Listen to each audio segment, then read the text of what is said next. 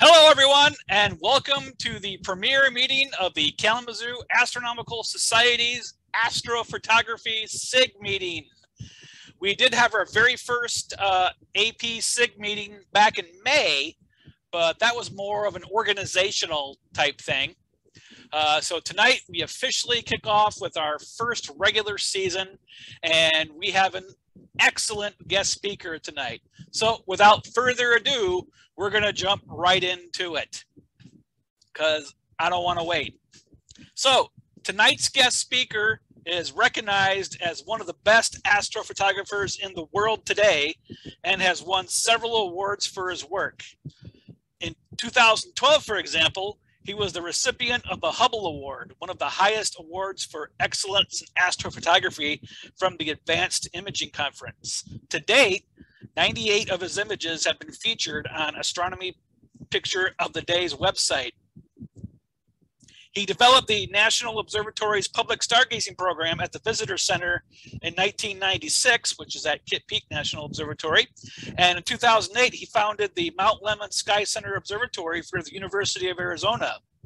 He was also a columnist for Astronomy Magazine for two years and is a PixInsight ambassador.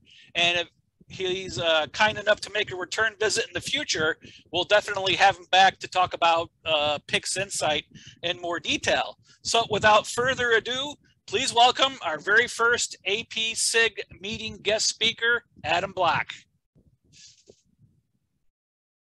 I see waving, so that's good. Thank you. uh, yes, Richard, that would be a very uh, technical talk for the PixInsight part of things. This presentation is not technical.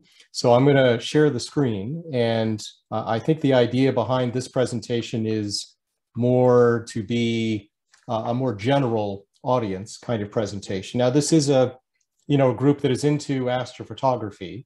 So some of the things I'm going to say uh, are going to be things that I, I'm sure are already well known.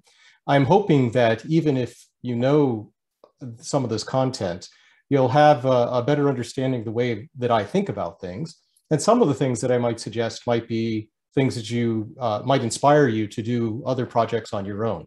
So in that sense, it'll be very general. Sometimes, you know, the talks are very specific and you spend a lot of time uh, going over some technical thing. Uh, in this case, uh, I'm not going to do anything technical, but it allows me to be a little more wide ranging in the things that I want to talk about and things I want to say. So let me try to do that here by clicking this. And I'll start from the beginning. Oh, I can't start yet.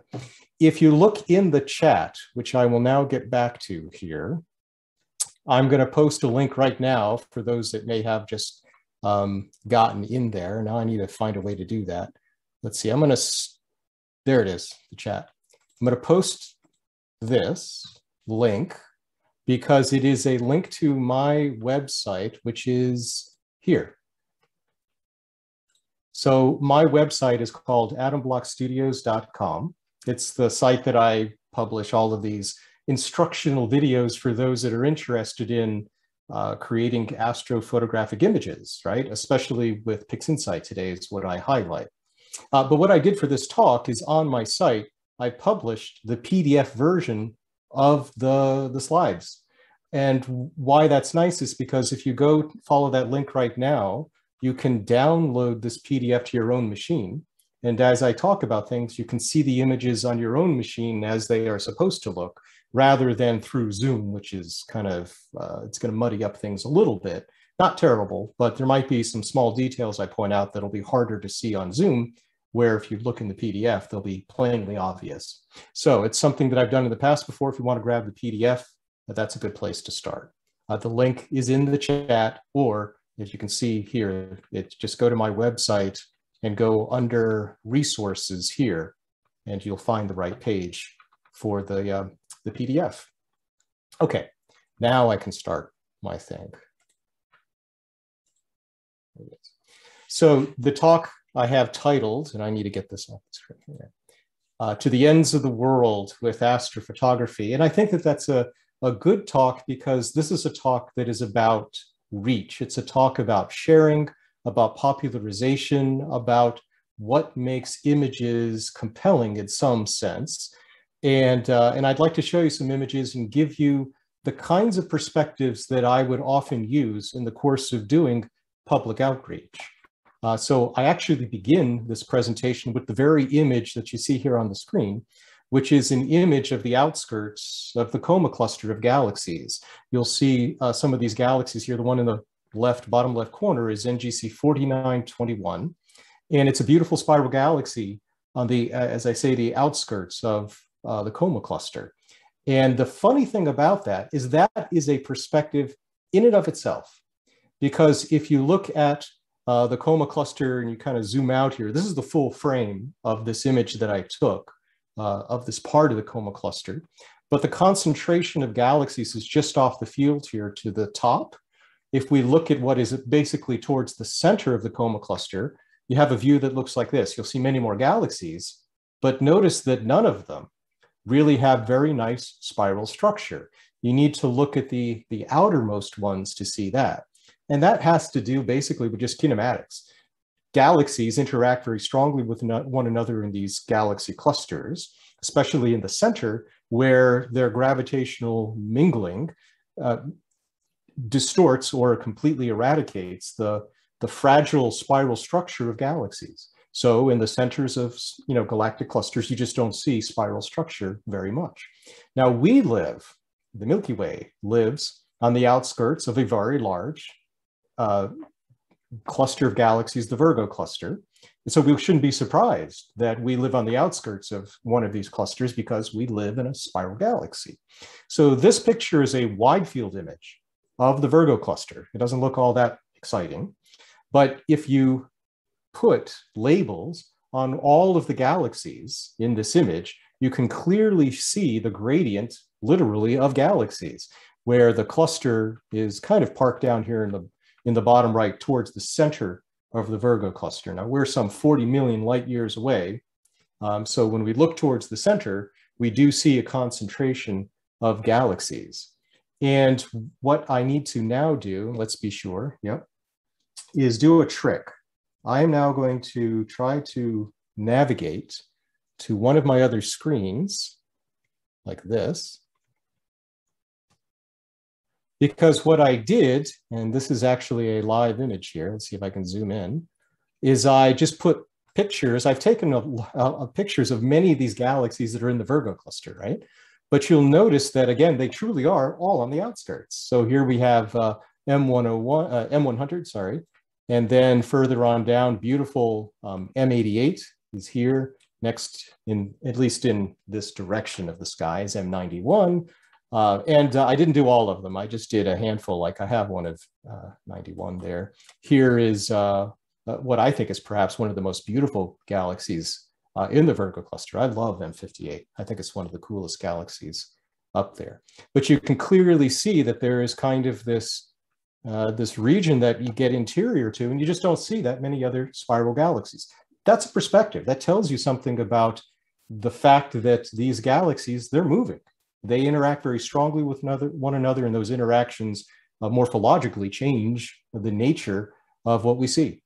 Uh, so that's a kind of perspective that I like to offer. But uh, another part of this perspective, and this is a very recent thing, is, uh, of course, near the heart of the Virgo cluster is the tremendous galaxy M87.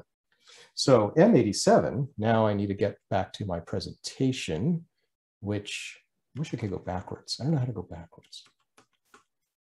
Is this my presentation? Yes.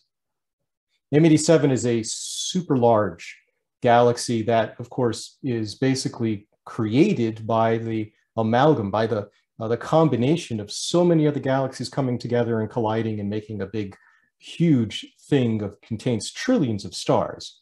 And one of the interesting things about M87 is that because of this mass, it has a super massive black hole in its heart. We've known that for a long time in the sense that we could see indirectly that there's something very powerful in the center of M87 uh, by virtue of this jet of high energy gas and radiation that is coming out uh, from the center of the galaxy, looking at the HST image of the same. By the way, uh, this is my image, right? If you didn't know, you can clearly see uh, through, you know, long enough, uh, say longer than 2000 millimeters or so, uh, focal length telescope, you can see the jet in the heart of M87. It's a cool imaging project to do.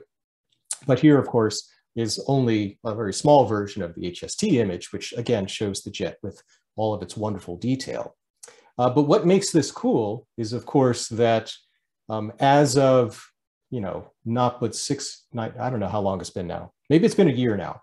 Uh, but not until this image, black holes and unicorns were in the same category, never having been seen before.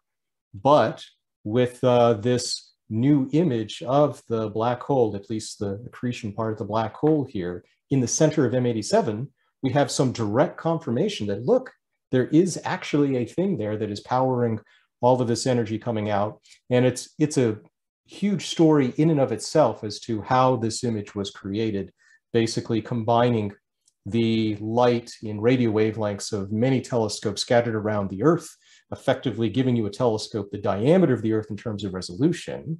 And that's what enabled this image to be created. To give you a sense of the resolution though, imagine looking at just, you see the kind of the bright spot in the middle here. Imagine one pixel in that bright spot in this picture, and then divide that pixel by about 10,000. And that would be one ten thousandth the size of that pixel is roughly the size of this thing which is just amazing, right? So that's the kind of perspective I like to offer. It is that we live in a galaxy. We have uh, a supermassive black hole in the center of our galaxy. We live on the outskirts of a cluster of galaxies. Uh, there's another cluster of galaxies out there. All of these things, I feel it's important put into context or perspective when you want to publish an image like this. This image looks like a, a red donut, an orange donut of some sort without that context, it's kind of meaningless. And I actually wish that when the astronomers first made their announcement, they went through something like what I, I, didn't do the full thing, but something like what I showed, putting into perspective where M87 is, where it is with respect to our own galaxy, why galaxies have uh, supermassive black holes in their centers, how large they are, so on and so forth. Why did they look at M87s instead of our own? Well, the answer is because Within our own, it's, it's actually a little more difficult. It's not as large and it has intervening gas and dust in the way. It's actually equivalent to looking at this other, uh, even larger supermassive black hole, even though it is much, much farther away. So those are perspectives that uh, I like to offer as part of my public outreach that I've done. And I am extremely fortunate in many, many ways, very, very lucky in terms of my imaging career, in that uh, one of the things is that I got to start this whole thing when CCD cameras basically became a part of uh, the amateur world, the amateur astrophotography, out of the realms of just uh, the professionals. And so when they became available, those first moments is the moment that I first got to uh, play with them. So this image here of the globular cluster 2419, I took through a 20-inch uh, telescope, F15 20-inch telescope, uh, on the campus of the University of Arizona using, uh, I, I can't remember, this might have been the ST6. I started with the ST4, which is just a guider camera, uh, but with an ST6. Now later, of course, uh, much later, you know, with better cameras, bigger telescopes, better techniques, I can generate an image of the same cluster that looks like this. But the first image kind of gives you a sense of what I first started looking at and got me very excited. I'd spent a lot of time at the telescope trying to generate those kinds of pictures.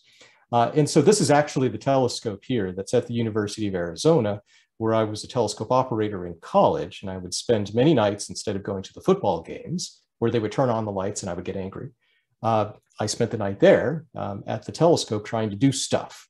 One of the things that I was successful at was, uh, and this was kind of an example of my first taste of doing real public outreach for kind of real people outside of the university venue, was that uh, Hyakutake uh, came around, the comet, beautiful comet.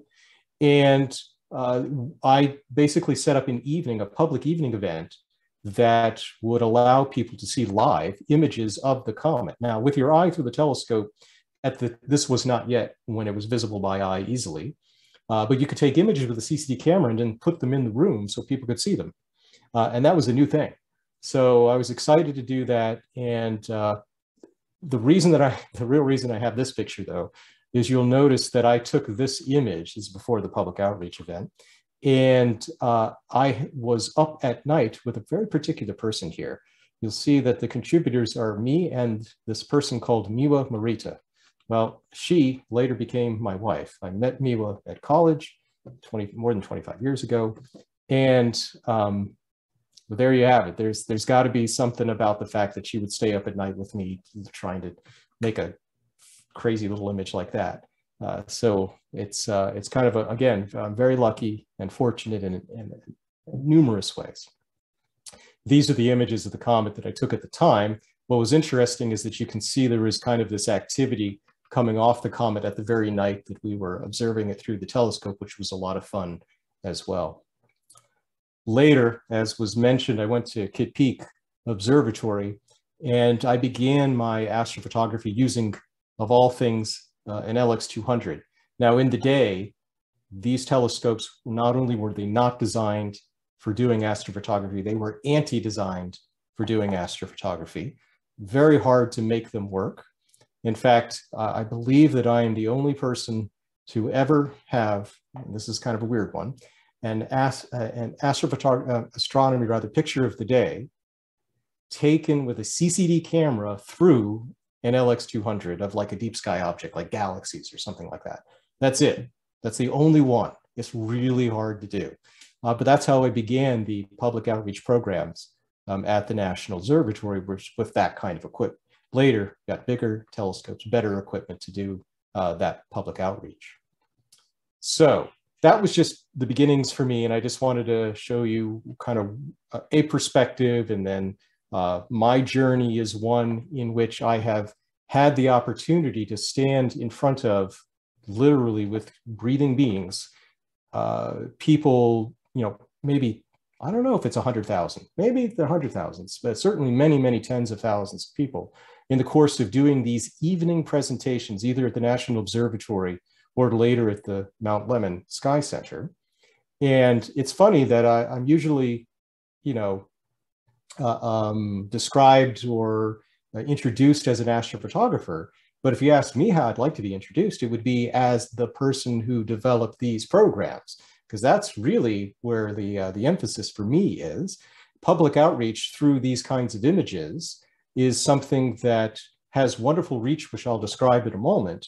But uh, you know, it's the work to develop those programs that are really that's uh, the astrophotography is only a facet of all of that. And uh, one of the things that I generally explain to people has been one of the more influential and powerful things about imagery, astronomical imagery, is the ability to do what is effectively HDR processing uh, the ability to manage the brightness levels of images.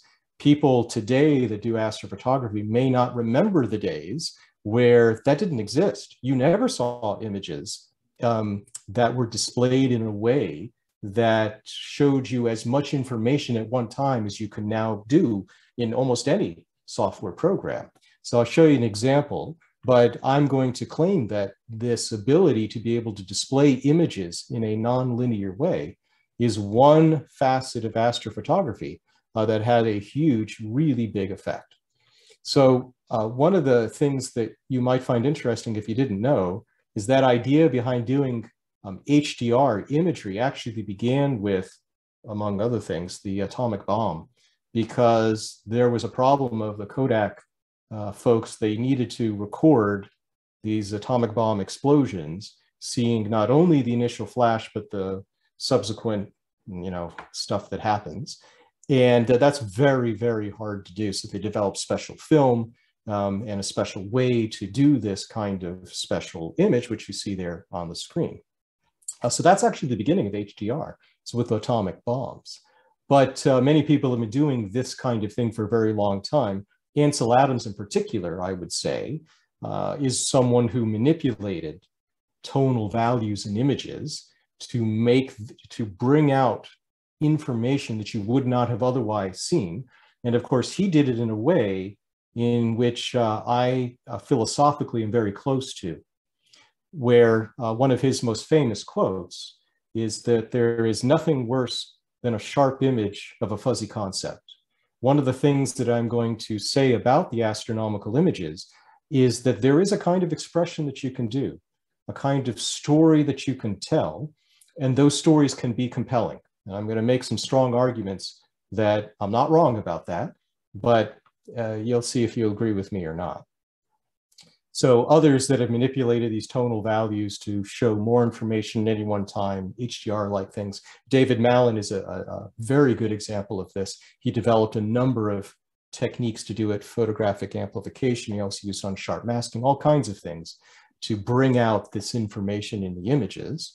Um, and I, as I mentioned a moment ago, I think one of the, the big changes in astrophotography was literally being able to see um, as you're working on the data, what the data looks like in a nonlinear way, literally like a photographic representation, because photographic images are nonlinear just by, uh, by their nature intrinsically. Uh, but uh, CCD images are not, they're linear. What you see is you either see the very brightest thing, you don't see any dim stuff on your screen, or you see all the dim stuff, but then the bright stuff is all blown out. It's all white on the screen. Now the values themselves, of course, are not saturated or uh, blown out or anything like that. It's just how it's being displayed. So a display like this, and this is in the program called CCD Stack that I used, you know, more than 10 years ago now, um, was one of the first to be able to display images in a nonlinear way. And that was a that was something that took some time for people to really get used to. Uh, but then that affected the kind of choices that you would make when processing your image because you could literally see what was there in a way that you couldn't otherwise do. Uh, so I think that that is very influential. And as a good example of this, I, I always like to show this particular galaxy. This is NGC 5866, which is very, very bright. And for many years, most people taking a picture of it, the picture would look like this. Um, and the funny thing about this is that you know, when you look at a picture like this, it looks cool, but there's more information there that I think speaks to the story of this galaxy than you get by looking at a picture that is processed in this way. So one of the interesting things is to be able to apply these nonlinear adjustments to the image and show more of this information. It's kind of like the Gray's anatomy of a galaxy. In other words, uh, you know, if you looked at someone's body, their, their arm or something, you know, normally you just see the skin. But in Gray's Anatomy and those uh, wonderful diagrams of the human body, you get to see all of the tissues and bone and stuff like that. So this is like the Gray's Anatomy version of uh, a galaxy, which allows you to see uh, another story that can be told here, which is that it, it is a spiral galaxy viewed exactly edge on, but it has these wonderful you know, tidal tails and other effects, probably due to the interaction of other galaxies uh, that have tipped and tilted this thing through time. So that uh, you, you tell this greater story about what's going on here.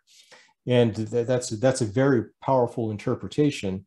And this interpretation, um, as of the time that I made this image, uh, was not very well known. There was an image, HST image, of this galaxy that showed just the center like this, but it didn't show everything, right? You don't get to see it in color because HST images mostly are, you know, scientific filters, not full uh, broadband images. And uh, you didn't get the big full field of view. So this image, I think, encompasses more information about this object than most others do. And uh, that's exciting.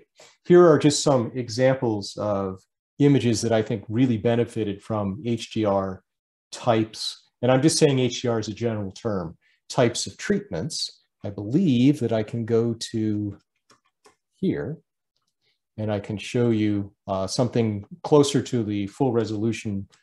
Oh, sorry, let's do that again. Uh, full resolution view of these images. So this is uh, M88, which is a beautiful spiral galaxy as you saw on the outskirts of the Virgo cluster. And, oh, it doesn't allow me to do that. Okay, sorry.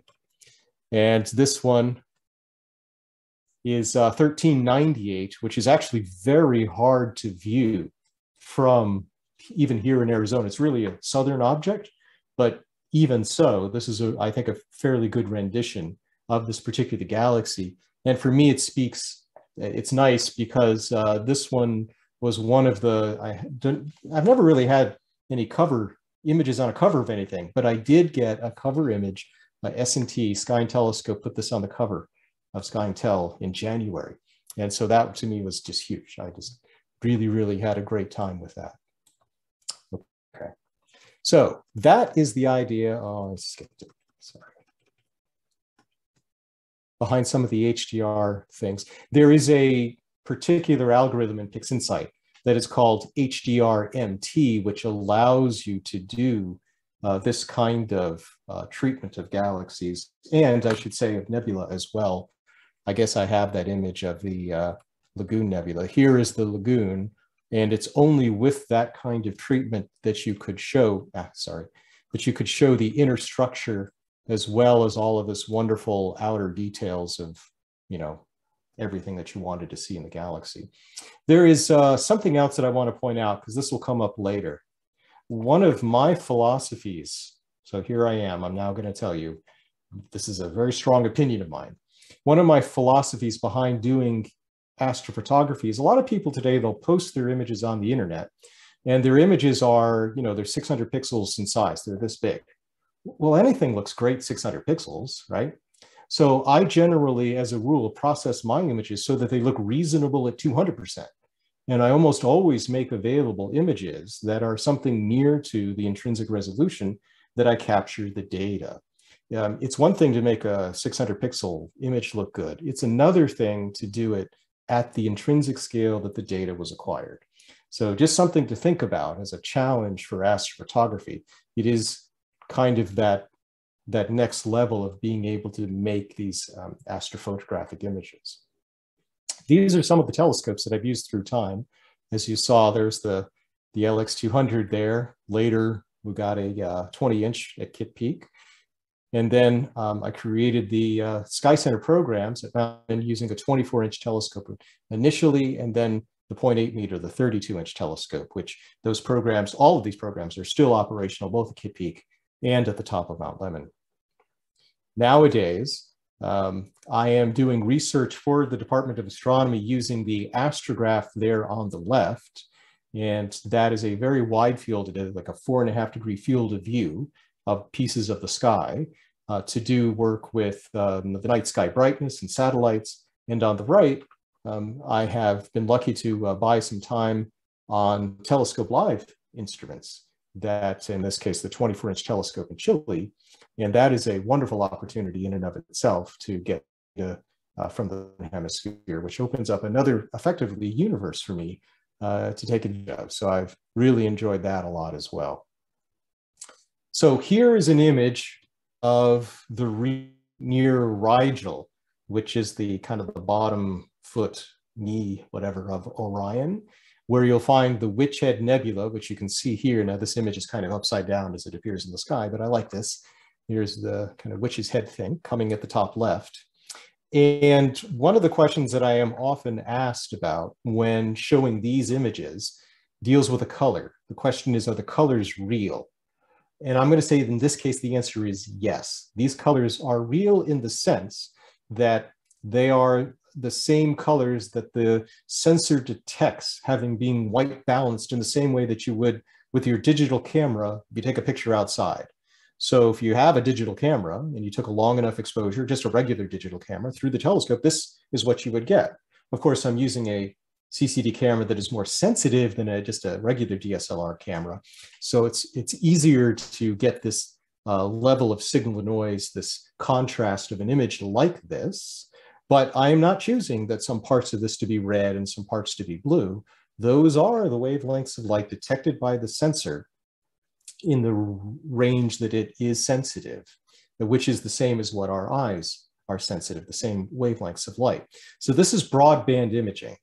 Now, one of the things that I like about broadband imaging, today a lot of people do narrowband imaging, which has a much more open, if you will, parameter space for making images because there isn't a um, there isn't necessarily a definition for how to combine the colors.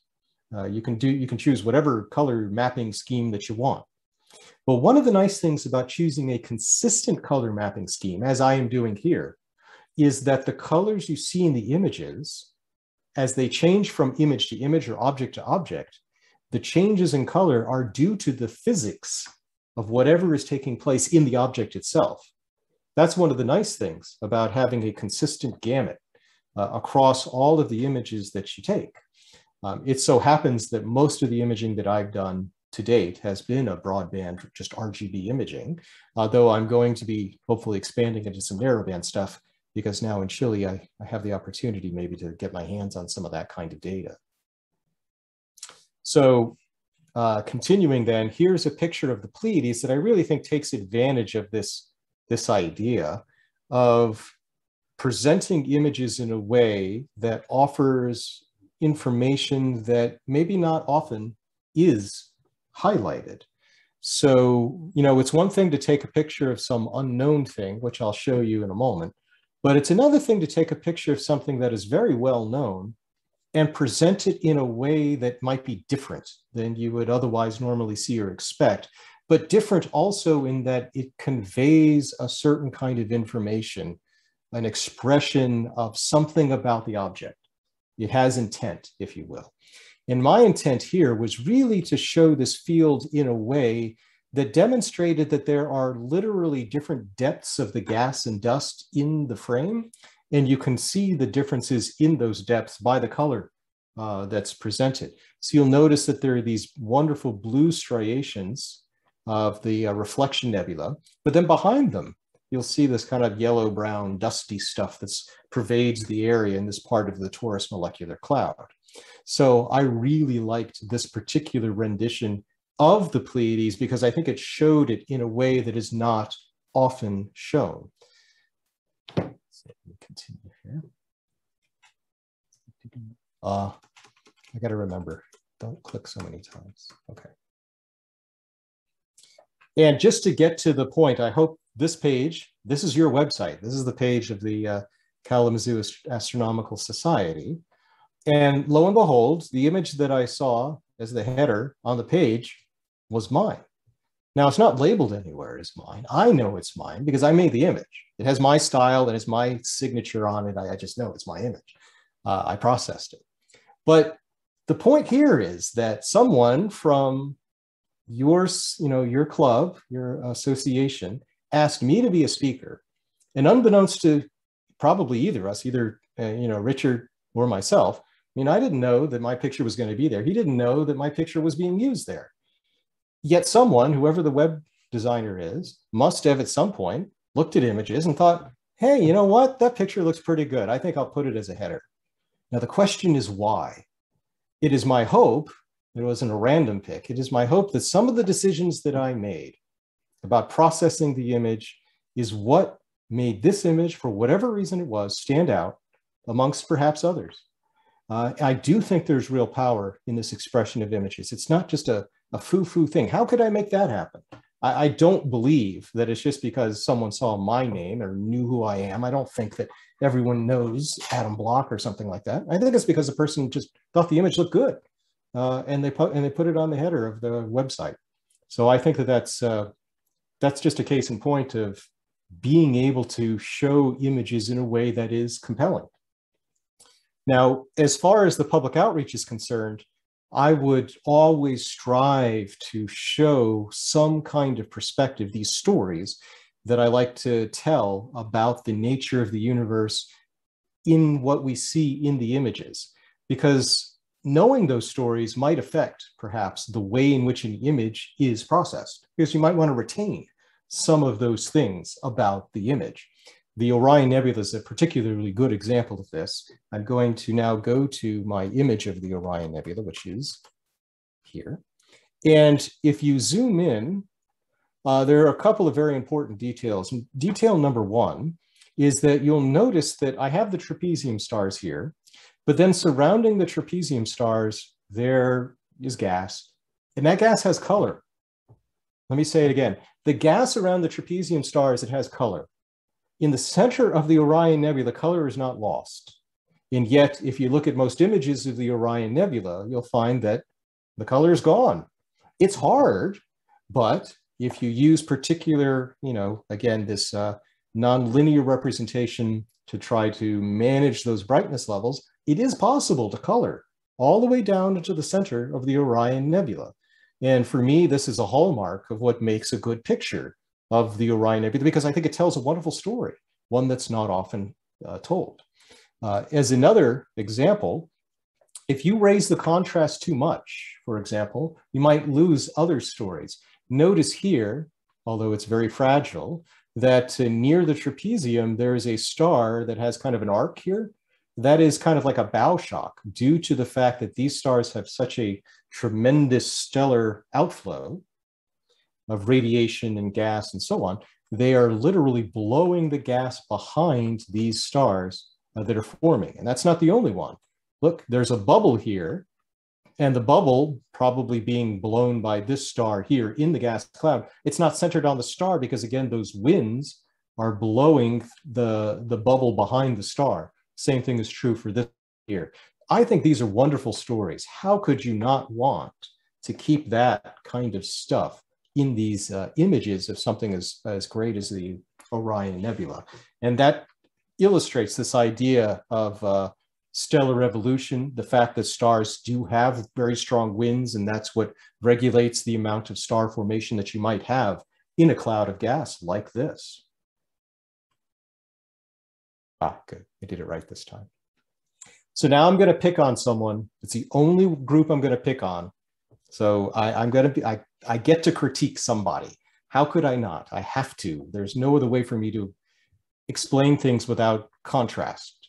So it's a public image that's this is by CFH and uh, they often publish images and they do they have a very particular style this is a group that uh, they never show big image they always show the 600 pixel size you can't ever see the large version of their images that's a critique and then another critique is that uh, i don't often know the story that they're trying to tell to be honest i know it's a bright image uh, but in this image, the story looks like color saturation to me. I don't see the detail. I don't see the contrast. I see the center doesn't have the color. So that's my critique. I don't know. I mean, I know it's a it's a striking image in the sense that it has a lot of color, but I don't see a story there. And so that's a different kind of image to me. That that's my critique.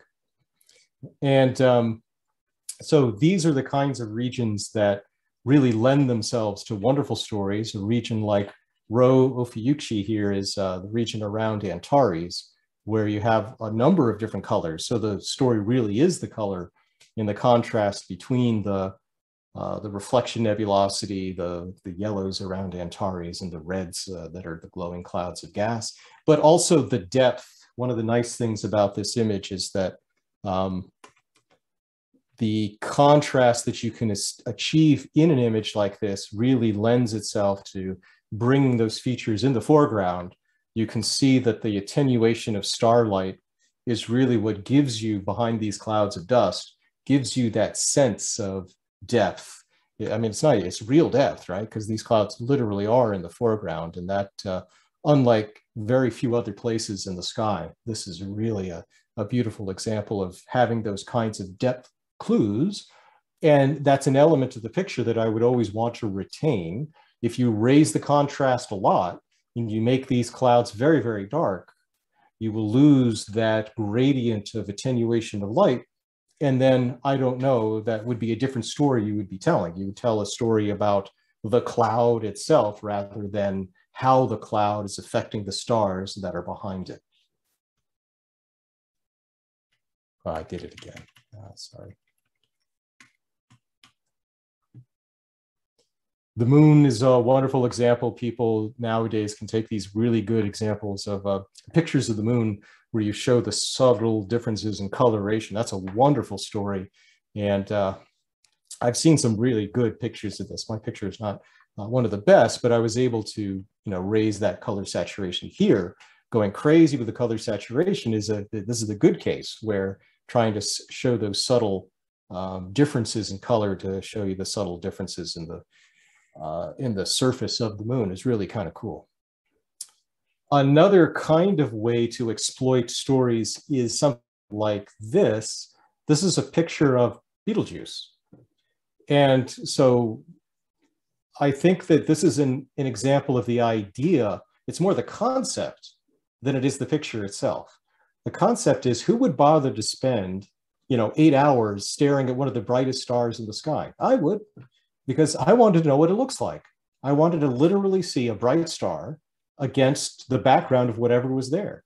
Lo and behold, it's kind of cool that uh, Betelgeuse has some stuff floating around it in the background, which makes it kind of cool. So you see all the stars, and then you just see this overwhelming, of course, glow of light. Now, much of the size of what you see here is being dominated by just scattered light. Uh, technically, and you can't see this in this image for, oops, sorry, can't see this in this image well, but there is a diffraction pattern. Uh, Betelgeuse is actually a tiny thing here in the middle, uh, but this glow of light is just, uh, I mean, it, it's kind of cool, uh, but there's tremendous scattered light there. Um, in the public presentations that I would give, these other kinds of concepts are very useful. Here, this is a concept, again, a field of view taken with the astrograph. You can see clearly how half a degree, the moon on the sky, uh, appears on the sky is much smaller than the galaxy, which really does extend four or more degrees across the sky. And that really offers a beautiful perspective about field of view, about um, size, about the faintness of things, because with your eye, you don't see that but you take a deep exposure and you do. And now I'm going to ask for maybe Richard to pipe in here just for fun, because I, I don't want to tell you the answer on every picture. So Richard, are you there? Yeah. Okay. So here's a picture I took of Orion over the, um, the learning center, one of the dorms in the, uh, uh, on top of Mount Lemmon. Do you see anything weird about this picture? There is something weird about it. Can you figure out what it is? Because it was the choice that I think makes it a compelling picture. Nothing stands out. Stands out. What it see, there's something about this image that's not natural. And and if you know what the natural state of things are, and then you look at this image, you go, "Oh, I see what the guy did." Well, of course, but, you, you, you pasted the the, the, the foreground's pasted in front yes, of the background. Yeah, that's true but it's the background that's weird. And what's weird about the background is that the sky gradient is gone. You see, when you go out into the night sky, anytime, all the time, there is always a gradient of brightness, even in the darkest places in the world. You have air glow. So the sky will be darkest high up, and then it'll be brighter as you near the horizon. That's everywhere. But if you remove that gradient, as I did, and then you show the stars as if it's just a flat field of stars, right? That gives the image a different sense. And that was a choice. Now, it may not have been an obvious choice, but that puts a little bit of a different take on uh, just a, you know, what is basically an Earth sky TWAN type image, right? Uh, so that was the that was the idea. I was going to see if you could identify it, but that was the that was the trick, if you will. So uh, another uh, kind of leading perspective that's very similar is this idea of field of view um, and this idea of resolution and putting the connective tissues between different objects or different regions of space. So here is the entire constellation of Orion that I took using a, you know, just a camera lens and the Canon RA. And uh, what I'm going to be highlighting here is actually M78. So you can see Barnard's Loop, which is just the left of the belt stars of Orion. Here's the Orion Nebula. Here is where you'll find the Horsehead Nebula, all of that. You probably already know the Flame Nebula. Uh, this little blip right here is where M78 is. So if we zoom in effectively, and now I'm going to show you a picture with the wide field um, astrograph, you get a picture that looks like this. Here again is Barnard's Loop, supernova remnant. And now we can see um, M78 where it lives in this part of the, the constellation. You can see the Flame Nebula down below. And then one more time, now I'm going to show you a two panel mosaic that I took of the uh, M78 region using uh, actually the 24 inch telescope in Chile.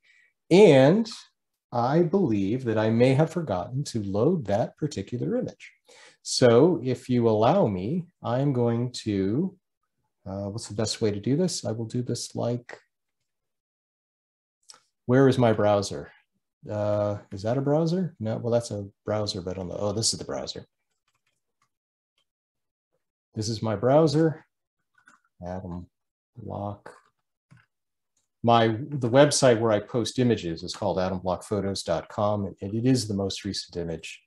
It's this one here. So the full image is this thing here. And it's really a beautiful, you know, piece of sky where you see this, uh, these interactions of things. This is a thing in and of itself, the, the action that's going on down in the lower dark cloud. And then of course the upper cloud is wonderful and it's uh, all of its detail of all those clouds of dust. So that's, uh, that's M78. Let's try to get back. Good. Uh, no. So now my presentation is here. All right. That full progression then, I tried to illustrate in some different way.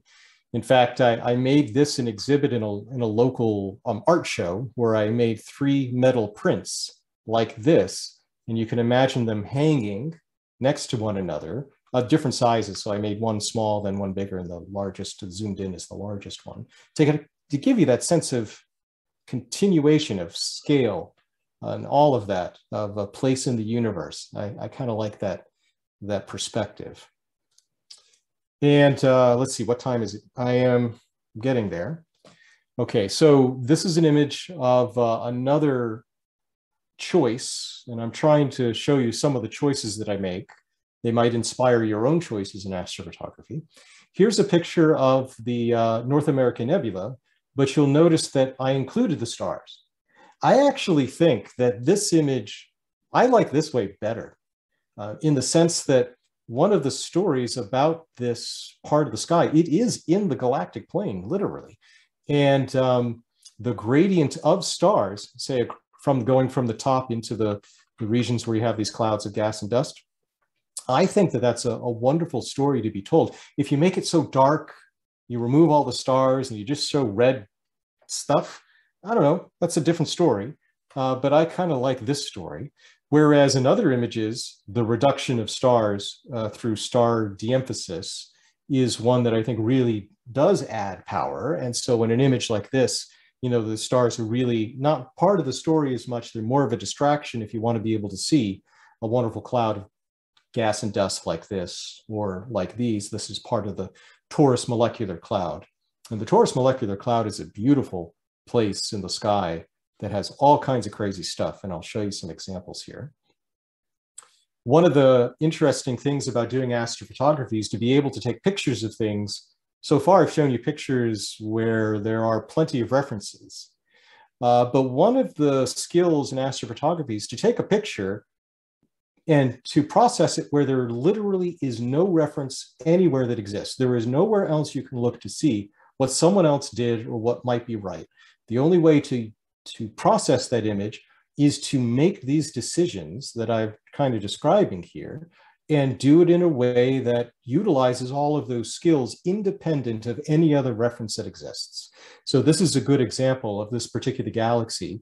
If you search Google, you will not find any other real high resolution full color um, RGB type color images of this particular galaxy, NGC 3261. So I always like that challenge to be able to take pictures of things where there just doesn't exist a, a good example. This galaxy is very well known, but again, uh, very few very good examples of high resolution full color images of it. And I think it's an overlooked kind of galaxy. It is bizarre. Uh, this is a starburst galaxy that has probably been hit by a number of other small galaxies, and it has all kinds of crazy stuff going on here. Not only does it have the outer loops of loops of gas, or uh, excuse me, loops of stellar streams, uh, but then the uh, clouds of gas in it are forming stars at a prodigious rate and making these very interesting structures inside. So this is a, uh, another kind of wonderful story to be told about this particular kind of galactic interaction. In fact, uh, I am fortunate again to have had the opportunity to take pictures of galaxies and discover, actually, um, something about them. In this case, I discovered some star streams that are around another galaxy.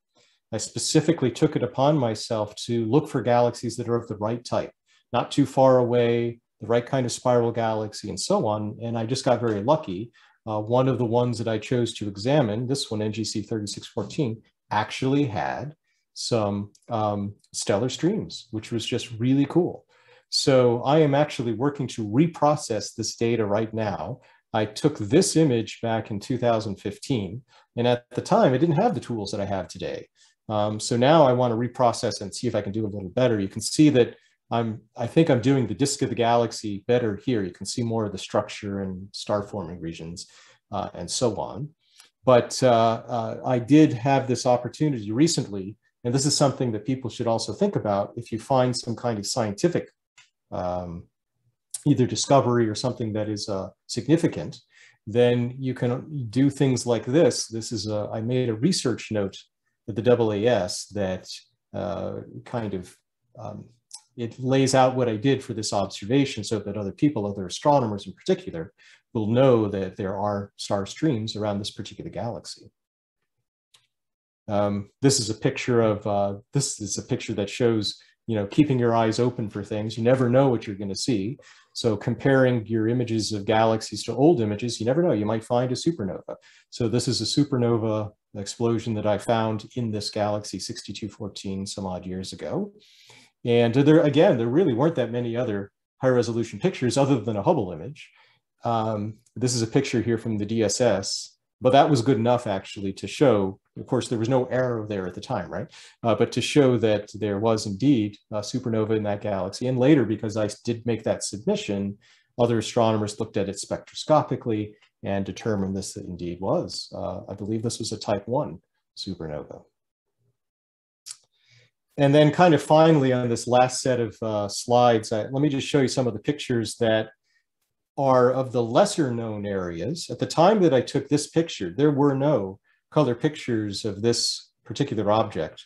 Um, the, again, it's another one of these things in the Taurus molecular cloud.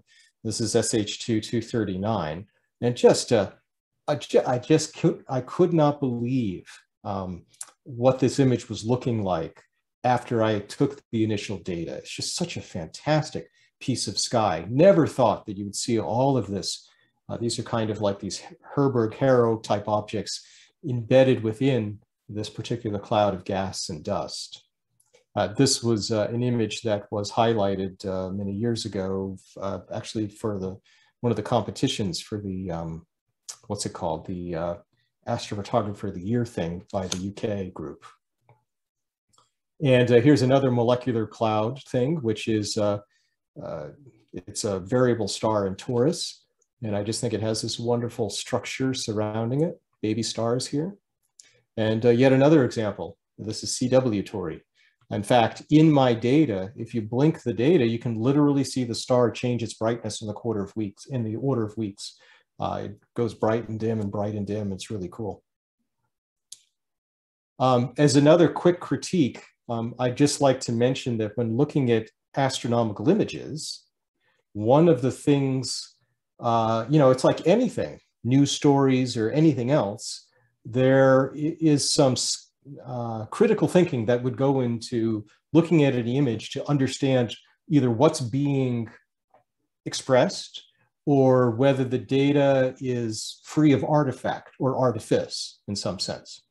So here is a, a, fairly good image that I took of the Whirlpool galaxy, showing all the detail and the, the dust lanes and the interaction with its companion, as well as many other background galaxies.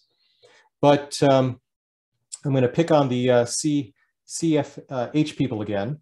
Here's a picture that they took back in, uh, I think this might have been, I can't remember what it is, 2018, uh, of the of the Whirlpool galaxy. It's a very nice image. Again, a very bright image. I guess the story here is really all the looping clouds, like a, a streams of stars from the interaction, which I, it's a good story to tell in an image like this. But then they publish an image like this, and this one was published just not but uh, this year, I believe, because they had a new camera, much wider field of view. They could take deeper images. But you'll notice that there's this red stuff here. What's that? Look at their earlier image it's not there. You'll see this bright star here and that galaxy there. And then if you look at those same features here, we should see at least the hint of it, even in their old picture. And it's not. In fact, the, regardless of their old picture, of any picture, um, I am not aware of any picture deep exposures that show it other than them. I believe that it's a flat field error. I don't think that that's a that's a real red thing. And, uh, and I criticize them for publishing it. Yeah, what can you do? So you got to have a critical mind when you look at images like this. I mean, is that real? Is there a red cloud up there? What is that doing? What's the physics of that? What in the world is that? You know, so there's there's some responsibility that goes with publishing images of astronomical images, especially if they're going to be, uh, you know, in the public domain for people to see and uh, and use or interpret as they might wish. This is another example, the same kind. Now this was this is an older image, so granted, I you can give them a little slack here, uh, but it's a beautiful image with the VLT, an eight meter telescope image of the Crab Nebula. But do you see what's weird about this image? Am I to believe, now this is a narrowband image, by the way, this is not a full color image. So this is mapped color, but am I to believe that the left side of this object is mostly red and the right side is mostly green? Is that what I should interpret by this? I mean, I see wonderful detail, but I also see a gradient of color.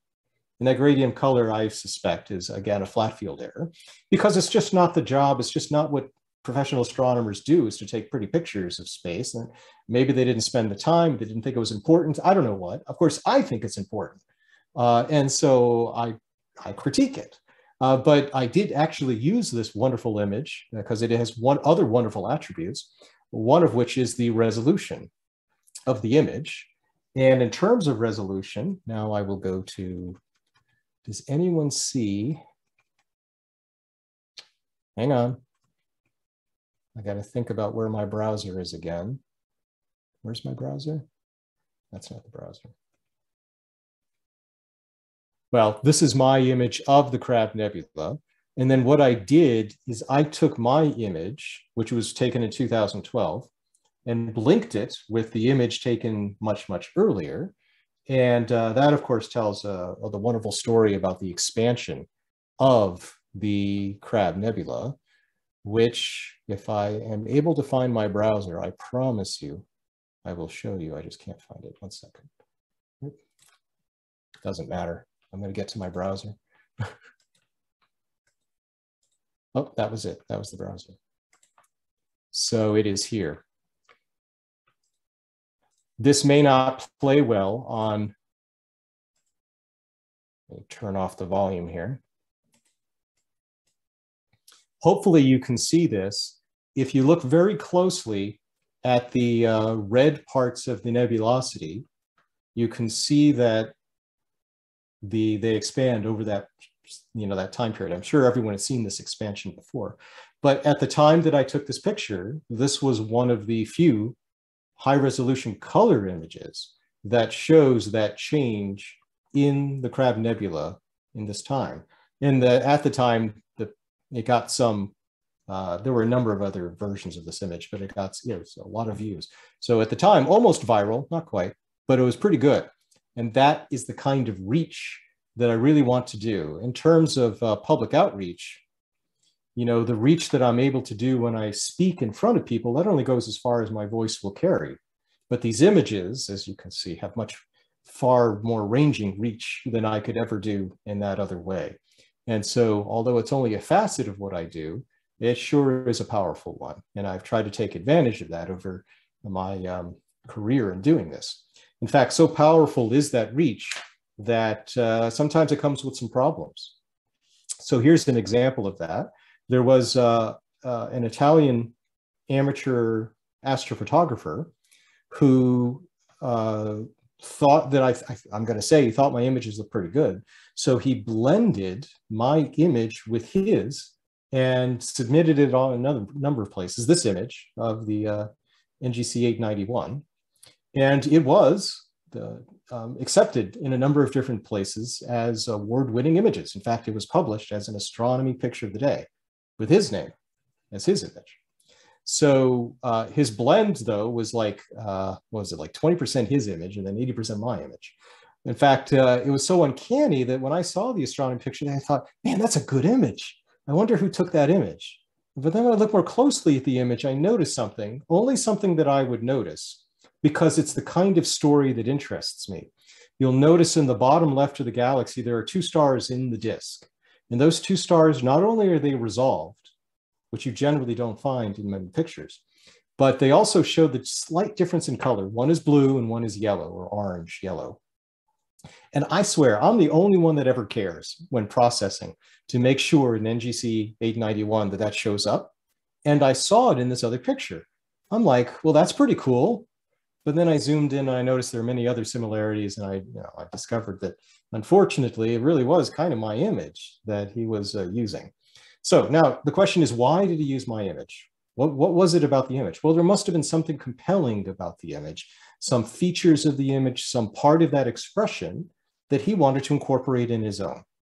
And what are those things? Well, those are the things I'm trying to describe. Those are the things that I'm trying to name uh, in this presentation. And uh, then finally, uh, there is one other thing that I wanted to do, and it is actually the reason why I wanted to have this particular presentation. I do note, though, that I have reached my hour limit. So what I was going to demonstrate is something that is not about astrophotography, but it's actually about um, a kind of simulation, actually, of galaxies. And it goes one step further to telling a, a different kind of story based on the stories you actually see in an image, uh, just like this one. So, Richard, do you have time? For... Absolutely, absolutely. Keep on going. Keep on going. You have because this will probably take me, I don't know, eight minutes, seven minutes, something. Perfect. Okay. Well, here we go. So here's a picture of uh, M33. And M33 has these wonderful clouds of gas that are forming stars.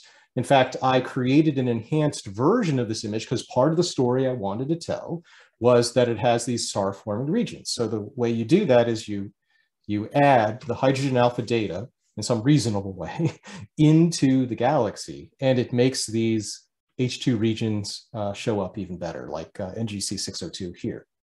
But if you just look at the HA data, you're literally seeing a map of the clouds of gas. Now, the entire disk is filled with gas, right? But you're seeing the clouds of gas that are currently undergoing star formation. That's what you're seeing kind of here, or, or other reasons, but uh, here in this uh, just H alpha alone image. And that's tied to another very interesting idea about galaxies. So uh, I mentioned that there exists the idea of simulation of things, physics, or the world around us that can be accomplished with very simple rules, but that somehow leads to a greater emergence of complexity. And uh, the most famous example is John Conway's uh, Game of Life. And this is a, a computer simulation, it's called a cellular automaton, that has rules for pixels. You basically start with rules, and I can show you those rules right now just for fun, because I have the Wikipedia page somewhere here, yes. And basically the rules are for a pixel, I, this may seem like totally off topic, but I promise it'll come together here. You know, if uh, any cell that has fewer than two live neighbors, it dies because it's lonely. If you have any cell that is any pixel in this case, with three neighbors, it lives. And then if you got more than three, oh, you die because of overpopulation. And then if you have any cell that's just dead already, it can come alive if it has three live ones running near to it. So just with four rules here, you get all of this crazy complexity that you just saw in that uh, animation thing here. You get things that, you know, multiply, self-replicate, they move, they do all kinds of things. You iteratively run this program and you would not have necessarily been able to predict from the beginning, based on those rules, the the kind of complexity and the kind of um, you know uh, emergence, if you will, of stuff uh, that you get. And uh, so this is a powerful way to examine the universe, to to think about things and uh, understand an underlying nature of the way things work. Now, I say that, but then I'm going to very quickly say the following thing. For any astronomers that are in the room, for any physicists, for any mathematicians, for anyone that has a beef about this. I am not saying that what I'm about to show you is an accurate representation of anything. That's not what this is about. What I'm trying to show is that there is a perspective where you can apply simple rules in computer simulation and you can come up with behaviors or patterns that are potentially explanatory or at least show similarities to the world around us. And that I don't think is a coincidence. And so that makes it a powerful way to do a certain kind of research, a certain kind of understanding of things. And so this is an example of that. What I uh, created is a galaxy out of these uh, cellular automaton. In other words, I made my galaxy be comprised of, call them cells or pixels, or clouds of gas, for lack of a better word. But a galaxy that's defined by this then is just imagine rings of pixels. So you have an inner ring, and then you have another ring outside of that. It has more pixels because the ring is bigger. And you keep making rings and rings, bigger rings. That is your disk of a galaxy. And then you apply some simple rules to this galaxy. Rule number one is you rotate the whole thing. So you have a rotating uh, clouds of gas for your galaxy disk, just like a real galaxy. And rule number two is that you have star formation. And star formation in a galaxy can be triggered, and this is the way it really is, either by the formation of other stars, uh, because their stellar outflows compress other nearby clouds of gas, triggering them to form, or uh, supernova explosion, which is another very powerful way to trigger star formation um, in a galaxy. So you have this star formation that occurs, and then it triggers leading other star formation to occur next to it and so on. So you have a wave potentially of star formation. So let me show you what that kind of looks like when you try to simulate these simple rules. I have here, let's see, what did I use? Yes, I used this. So this is just a very simple example. I basically made screenshots of what's going on here. And uh, let me maybe back up. Yeah, here is, this is just early on. So each of these rings represents clouds of gas, right? And if it's white, it represents like a star blowing up in the clouds of gas. So if you look towards the, uh, let me see, I need to do that if you look at uh, here in this maybe spiral arm, the red stuff represents anything that is actually lit up represents uh, clouds of gas that are currently forming stars.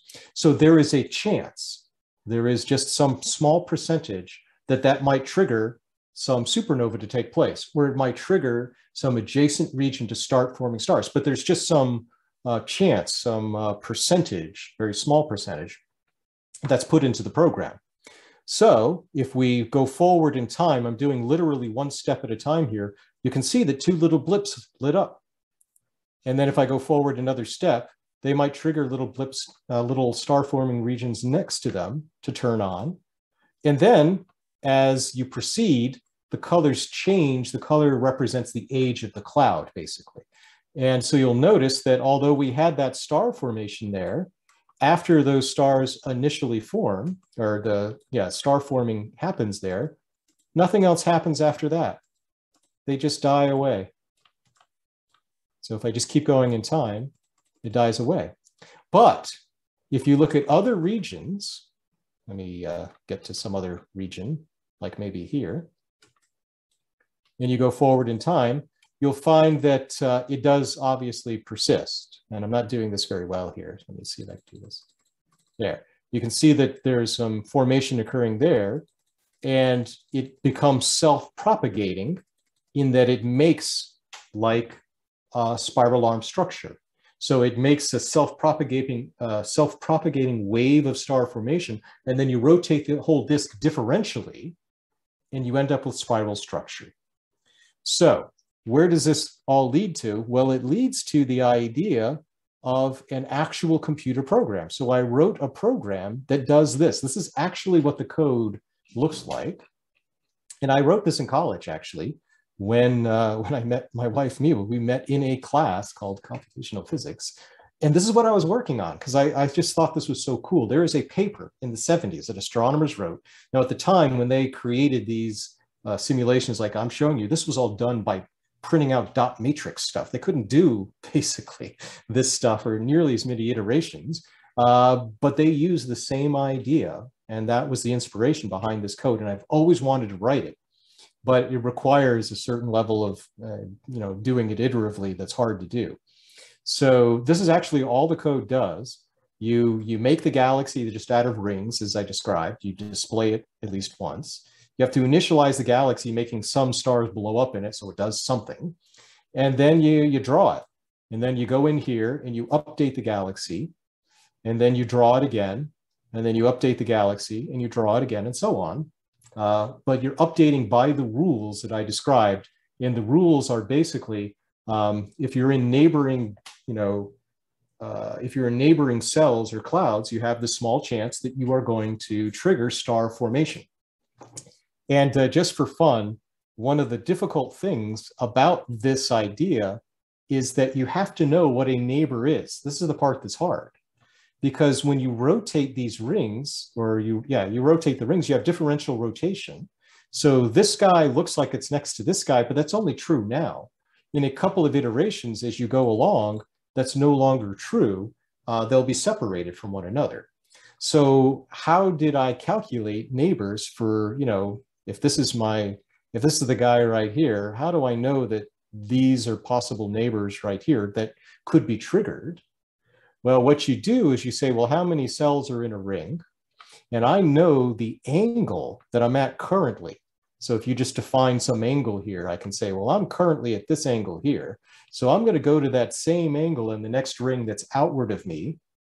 And then I'll look at the neighboring cells that are there. And then the same thing I can do on any cells in their inner ring. And of course, for this cell here, there's one cell to the right and one cell to the left. So I can define all the neighbors of each cell. And then I, once I have found all those neighbors, I apply the rule which is there's a small chance that any one of them could be triggered into doing star formation. And uh, if they're triggered, well, fine. If they're not, then they just age one more year until they age out, and then they just die out completely. If you apply these rules, you end up with uh, something that looks like actually a spiral galaxy. So this program I wrote, but it's but I don't have the ability because it is so computationally intensive to do this for all of these pixels and then render the screen correctly, um, I asked for some help. And there's this wonderful guy, his name is Peter Kukul, who knows how to program. Um, and uh, just this brilliant guy. And so I gave him my code, and he basically made it in a form that is now available, actually. Uh, we'd like to make this available to people if it's kind of a, just a toy to play with. And if there's any interest from people, I'd like to know that because this is the first time anyone's seeing it. Um, but basically, I think if I, can I restart this? How do I restart? I wonder if I just go there. So if you start from the beginning, now this might not display well on Zoom, and I apologize, might look choppy, but I think you can get the idea how things evolve through time. You can see the star formation occurring within clouds, and how they are persisting because the star formation is enough that you uh, you're generating enough formation to trigger propagation of star formation while rotating the whole thing. And if you do this through time with a number, uh, uh, you know, enough iterations, you get something that looks like a spiral galaxy. Simple rules, right? Uh, but you get something that looks like reality. And I think that that's, I think that's really cool. And I think it adds another label, uh, another level rather to the stories that you show. This to me is a simulation. If you just stop time here, this looks like the HA image of M33 at some level. And then if you could watch it through time, perhaps you would see something that looks like this as simulated through cellular automata. So that was the other kind of perspective I wanted to give. Is the whole reason I wanted to give this talk was to show that uh, uh, there are other ways of kind of communicating these interesting ideas at that link to things that you show or process or express in astrophotography, uh, but then even go maybe another step further. Let me be sure that was the end, but I'm pretty sure, yeah, that was the end. So that's what I wanted to show, and I thank you very much for giving me that extra time to, to do it. Uh, and if there are any questions or anything like that, I am I'm really happy to, uh, to address anything. Adam, that's almost a uh, simulation of what I would what they would call the density wave theory in a, in a strange yeah. kind of way. Yeah, yeah, that's exactly right. Yep. Yeah. Self-propagating. Yep, yep, yep. Here, let me here while we're talking, I'll just let it go because it's cool. Sure. All right. Any other questions or comments?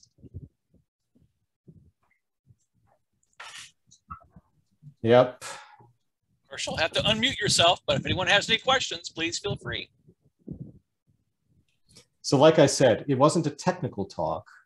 It was more just really giving you my thoughts about some things in astrophotography, some things to think about, some things to look for. Um, did I hit the right notes, Richard? Was that something along the lines of uh, what you? Absolutely. Yeah, we, we were looking for something general that would maybe inspire people to begin taking images. That's the whole point of our SIG here. Yep. Good, good. Adam, I do have a, a question for you. I've been an imager for a long time too, and I was glad to see you, you touched on like CCD stack. Where do you where do you see the programs going? I mean, PixInsight's an amazing product. How Yeah. do you how do you see you know programs evolving moving forward? Do you see them actually getting further and further down? I mean, expanding even more? I don't know. You know, one of the things that I think is going to happen soon is that uh, this is especially true of the the Vera Rubin Observatory, right? Mhm. There, I think, are going to going to be more public outlets for data. Mhm. So I think that uh, some of the software that we'll see in the future will be able to accommodate the ability to, you know, download and process and handle and whatever uh, some of these other sources of data. Uh, So I Mhm. think that that's going to be part of it. Mhm. Uh, but yeah, you know what? I don't know what the universe holds as far as um, you know software goes. There are always different algorithms which optimize image processing. I think PixInsight at the moment has uh, the largest collection of those those processes and algorithms. So it's a very powerful program, and Yeah. obviously what I'm uh, what I'm instructing with at, at my site. Mhm. Yep. Thank you. A question, please. Uh, many of the images that you've shown uh, have thousands of little dots on, like dots. Yeah. Are they all stars? Yes, those are stars. Now it depends. Some of the images, some of the images were wide field images. So now I'll I'll veer away here. Um, so an image like uh, this is a wide field image, right? And because it's a wide field image, you're not seeing the, all the stars are so tiny; they're about the size of a pixel.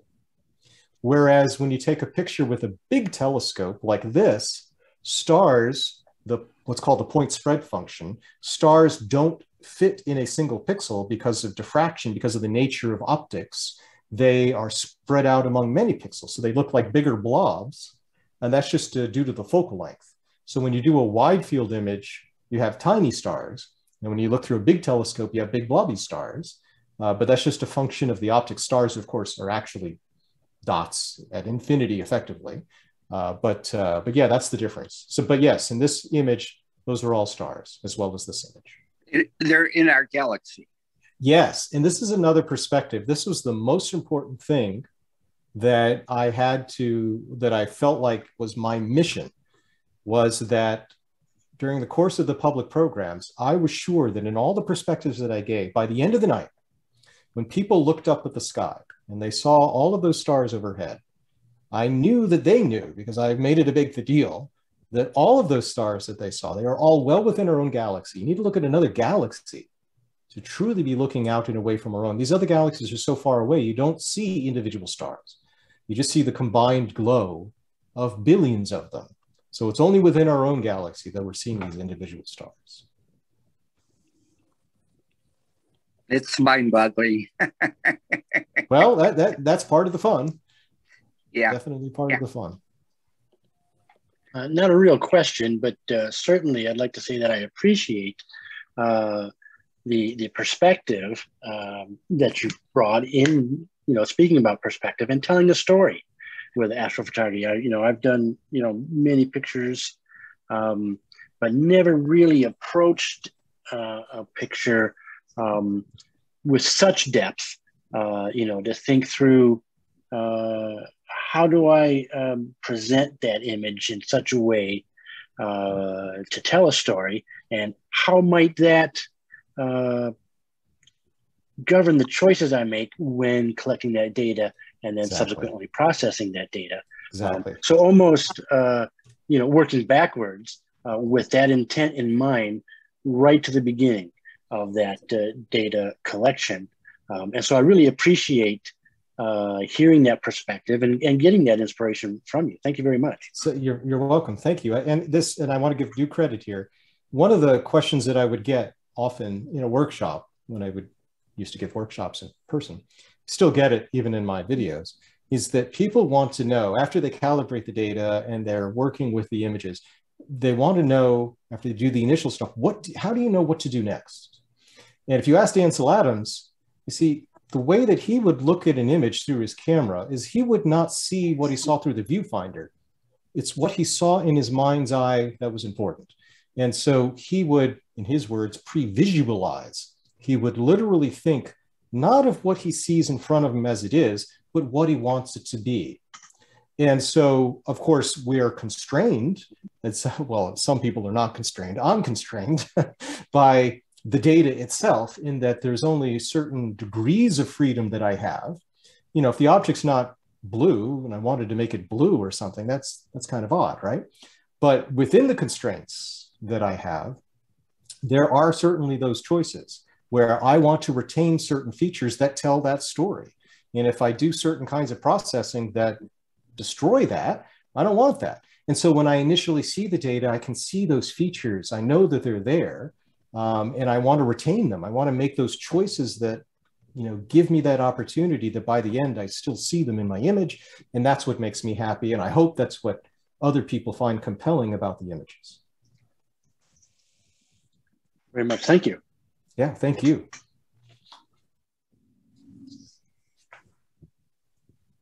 All right, hearing no one else, we'll uh, kind of give you a round of applause here and uh, thank you for joining us. That was a fantastic presentation. And I thank hope you, you. and I do hope you, uh, you know, accept another invitation to give a more technical talk on PixInsight processing in the Oh, future. that would be that would be wonderful. I would certainly enjoy that very much. And uh, just uh, yeah, send me the send me the invitation when you're ready for that. Absolutely. We, we, we like to give our speakers a little break. I won't have you back this season, but perhaps next season. Yeah. Okay. All right. Thank you. We could have you every night, but I think that'd be too much. Yeah. okay. All right. Thanks again, Adam. Okay. You're welcome. Should I uh, drop off, or are you guys going to do anything else? No, we're going to have our kind of the rest of our regular meeting. Uh, you're welcome to stay. Okay. Um, but uh, if you have to go and process images, I totally understand. Now let's see. It's uh, six thirty. Yeah. Uh, I tell you what. I'm going to hang out for a few minutes and see how you guys uh, behave. No, I'm just going to see what your what your meetings are like, and uh, and then yeah, then I'll just I'll drop out. Thank you. Great. Thank you. Thank you. Okay, everyone. So let's uh, go ahead and begin with the rest of the meeting here. Uh, the first thing we have on the agenda, if you still have that handy, is we're going to share our latest images that we have taken. So I, I know we're this is our first meeting. Perhaps you don't have anything ready to share yet, but if you do, um, let's uh, let's see some of your latest images you've taken over the summer. We don't have time to look at probably all of them. I know, for example, Pete's taken too many to share tonight, but uh, Pete, you got one handy to share? Yeah, I knew you were going to ask that. Oh boy, and you got Adam here to look at it too. Oh boy, no pressure. Um, oh, I'm not sure if I can bring one up or not. yeah, I'm trying to pull it up.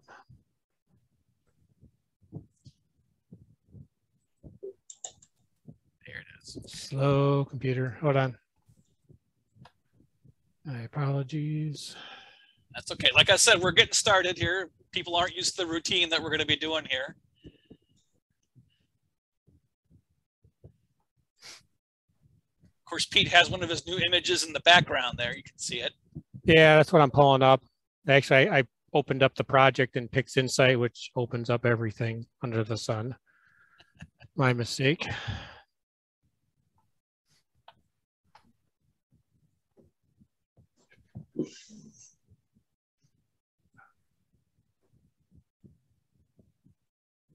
I need a faster computer, more RAM.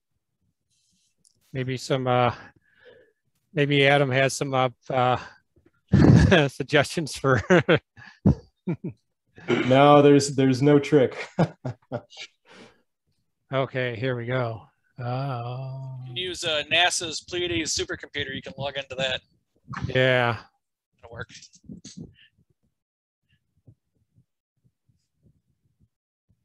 Okay, let me see here. I wouldn't recommend using Skynet. I've heard only bad things about that.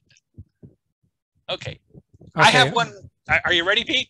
Yeah, let me, Okay, because I, I have I have mine ready. Mine's a very simple one that I want to share. So okay, I think I'm sharing. there we go. okay.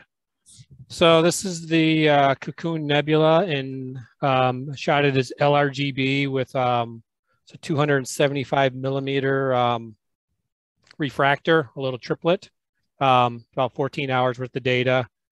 Um, I'm just trying to think here. Just basic, just starting to use this little refractor. Uh, nice little uh, dark nebula in there. Boatloads of uh, star in here, as you know. Um, and like Adam was saying here, you know, the story, I'm, I, I've been so focused on galaxies for so long. I wanted to zoom out and actually explore, especially the Milky Way, you know, what's going on. Um, and for some reason, I thought there was more dark nebula in this area. Um, actually, the H alpha data I have for this, which I haven't really incorporated, is this whole area is awash in H alpha. So I was really pleased with that. But um, this is probably one of my uh, more recent projects, but I won't use all my time here. I don't know if anyone else has anything. Any questions for Pete about his image? And- And I'm glad Pete did share some details in there. That's one thing I forgot to mention. You know, this isn't a general meeting where we just share pretty pictures to ooh and ah the crowd. We're here. Yeah. For, we're here for details.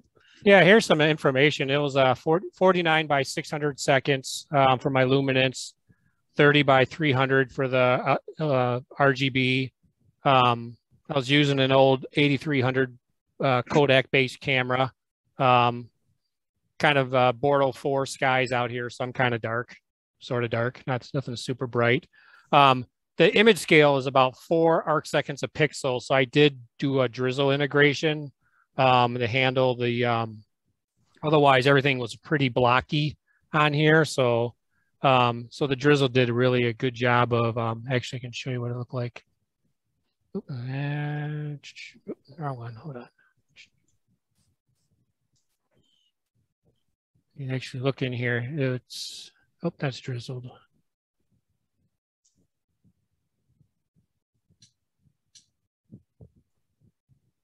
Oh, that's drizzled too. Uh, I don't have my uh, raw frames, but I definitely had to drizzle these. This the the pixelation was pretty bad, so using drizzle is a really good uh, technique I found uh, to handle that. But anyone, anyone has any questions? So for our beginners, this is the uh, Cocoon Nebula, uh, Yep. IC 5146, I think. Yeah, And um, th- yeah, this is way up in Cygnus. It's practically on the border of uh, Cepheus. hmm yeah. That's a great shot. Yeah. Um, the PixInsight, when I did uh, the alignment, there's like 19,500 stars, which is about, about right. That's about it. Okay, we'll pause here to count them. That's Yeah. too late. Yeah. Okay, so I got one handy to share. I, I thought I'd go, on, um, I, I knew people would start out with the whiz bang wow images. I thought I would kind of go in the opposite direction here. So uh, last week we had a nice uh, conjunction of the waxing crescent moon and Venus. So while I was out at the Kalamazoo Nature Center doing some imaging of uh, the Cocoon Nebula for, for one, and also the Andromeda Galaxy, I ran out to Northwest Avenue with basically a stationary tripod and my um, uh, Sigma 70 to 300 millimeter zoom lens and took this image here. So I can give you the the, uh, the technical details here. So this was taken with my Canon uh, 6D, which is a full frame DSLR camera.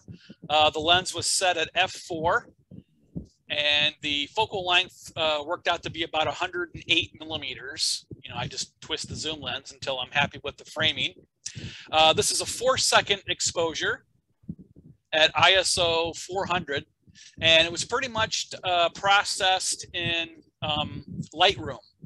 I really didn't use uh, Photoshop at all. So Lightroom helps you, you know, uh, do a little bit of processing. I, it's um, helpful to uh, flatten the image, you know, do lens correction so it's not distorted. I do have some noise down here. I did do uh, in noise reduction in the camera. That helps remove hot pixels that are really difficult to get rid of later. But it, it just goes to show you, not all astrophotography has to be incredibly complex. I like doing the complex stuff, but I'm really slow on the processing just because I'm too busy doing so much for the club. So it, it is nice to take pictures like this. They're very gratifying. They're really, really quick and easy to do. And um, they're just really fun to take too. That's my favorite part. My favorite part is just taking the pictures. All right. Anybody else have any pics to share? I got a couple. I don't know who that was, but go ahead, and share your screen. Okay. Uh, let me see.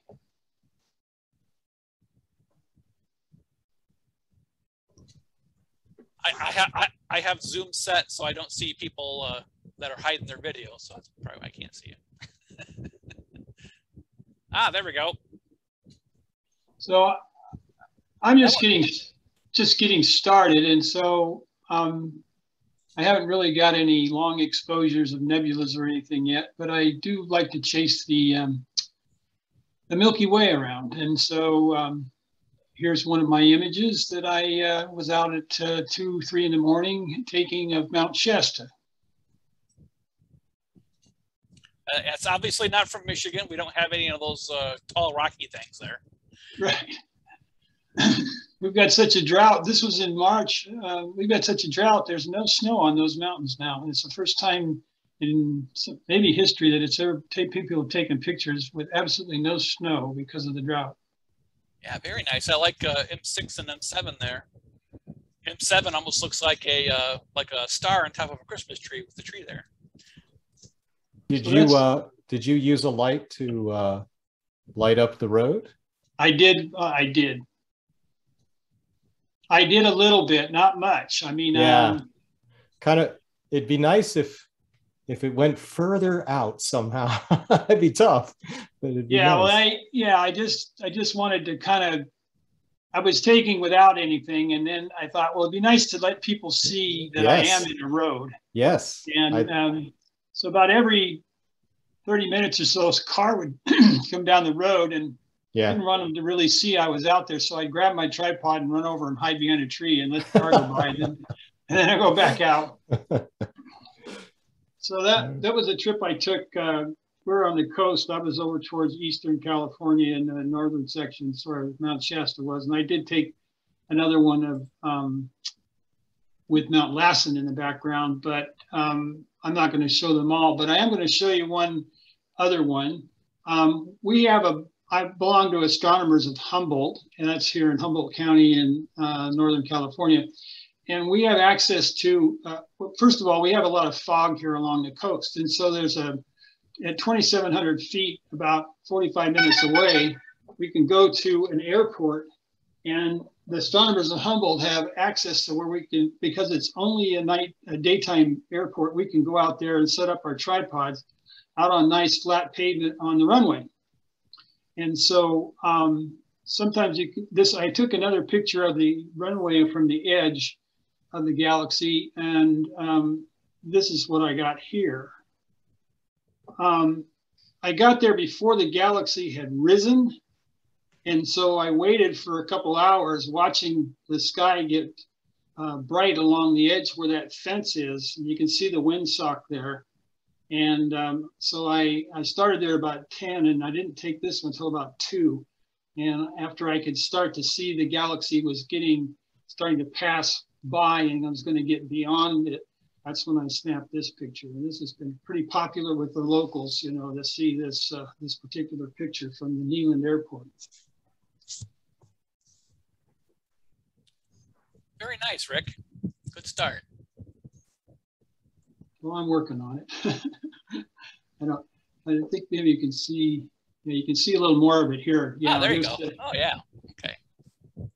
it's just um, yeah this is where it started this is where i was really kind of there was a bunch of other photographers up there from the camera club and there wasn't really room for me to go where i normally went so i went down the road and i just sort of hung out and it's fun to uh, see vir- virtually nothing until you take a picture you know and you go oh there is the milky way it's coming up so um, yeah this one here is probably my best shot so far this year. So.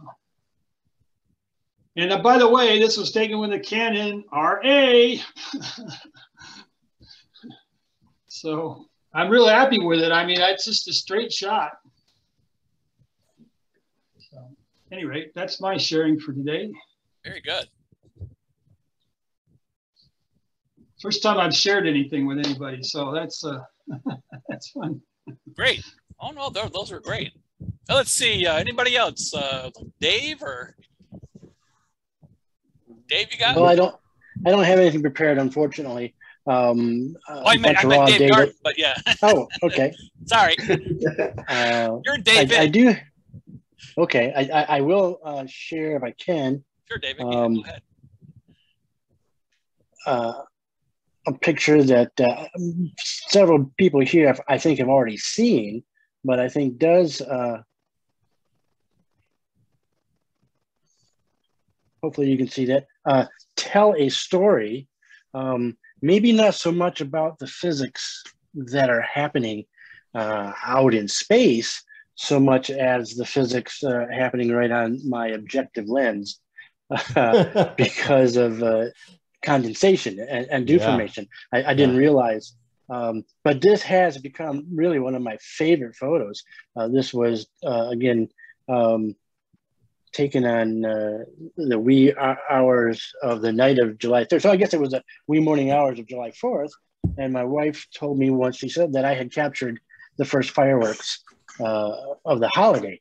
Um, and I've shown this to others. And uh, the other story that I think this tells is um, what unexpected re- results you can get when when things go wrong.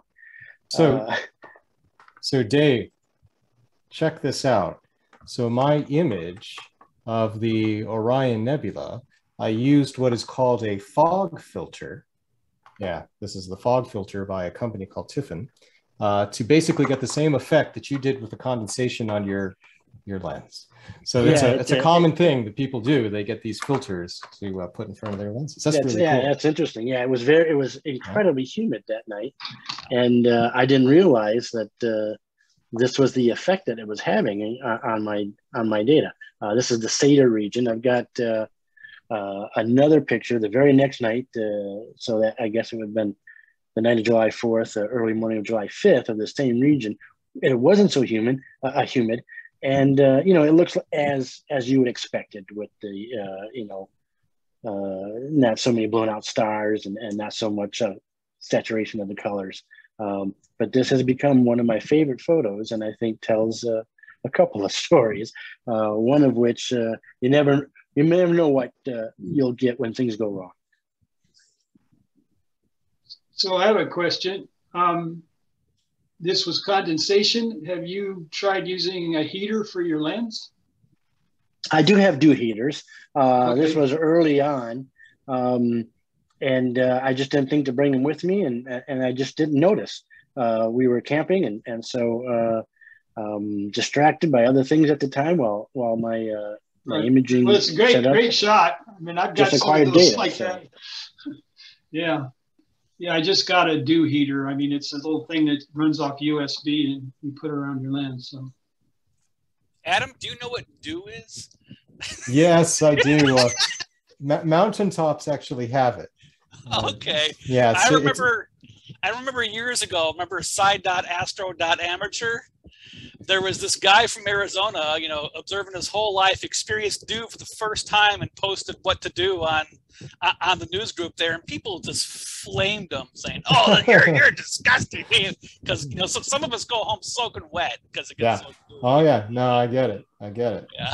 By the way, this is the this is the fog filter that it probably doesn't look like much on the camera, but this is the fog filter that's used to basically get the same effect. Because if you take a picture like um, Rick's picture of the Milky Way, but you want Antares and some of the bright stars to stand out, I mean, they're just so small that this is the filter that allows you to get that picture and show what looks like the constellation stars. They'll show up.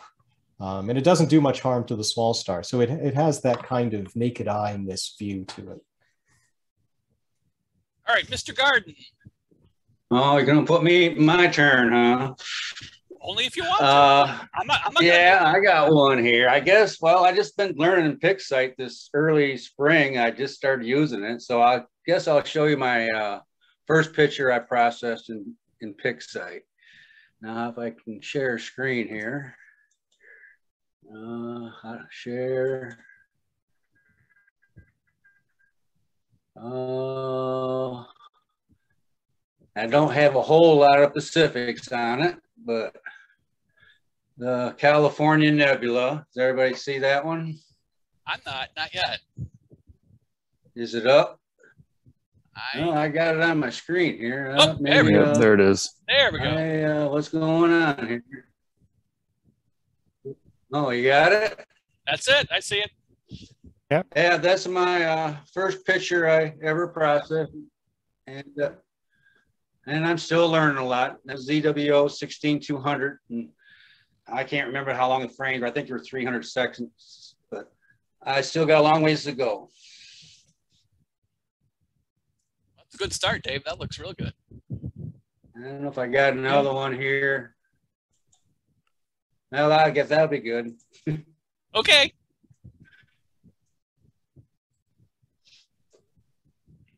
All right. Well, share here or what here? How does this work? I think we're back. Okay, so let's go ahead and move on. Uh, we can maybe share a few images after the official time here, but I didn't want to uh, take up too much of everyone's time. Um, I, I do have uh, interesting images from other astrophotographers, and there is one I wanted to share. You probably all saw it, but I was I was shocked when I read the uh, the caption. So here is uh, yesterday's astronomy picture of the day. You know, when I first saw it like this, it, you know, I, and, and glanced at it, I was like, that that's something from the Hubble Space Telescope because the uh, the uh, dark nebulosity here is so excruciatingly detailed. But then I, you know, click on um, this gentleman's link here, Andrew Klinger, relation to Maxwell Klinger from MASH, of course. And uh, here's his uh, image. And so it was, it was taken with the William Optics uh, GT81, 80, 81 millimeter refractor, I assume. So I was uh, amazed by the resolution of this image. I won't bother, you can glance at the details here real quick, but remember, this was yesterday's APOD, so you can check out the details yourself, but it's just remarkable the images people are getting today. That resolution, it, it's just really exquisite. So you can you can check out the full resolution version there and uh, check it out. So that was that was one recent image that really amazed uh, me. Is you said that's the APOD today? That was yesterday's APOD. The, the one for today is the, of the object that uh, struck Jupiter. A little little video of that.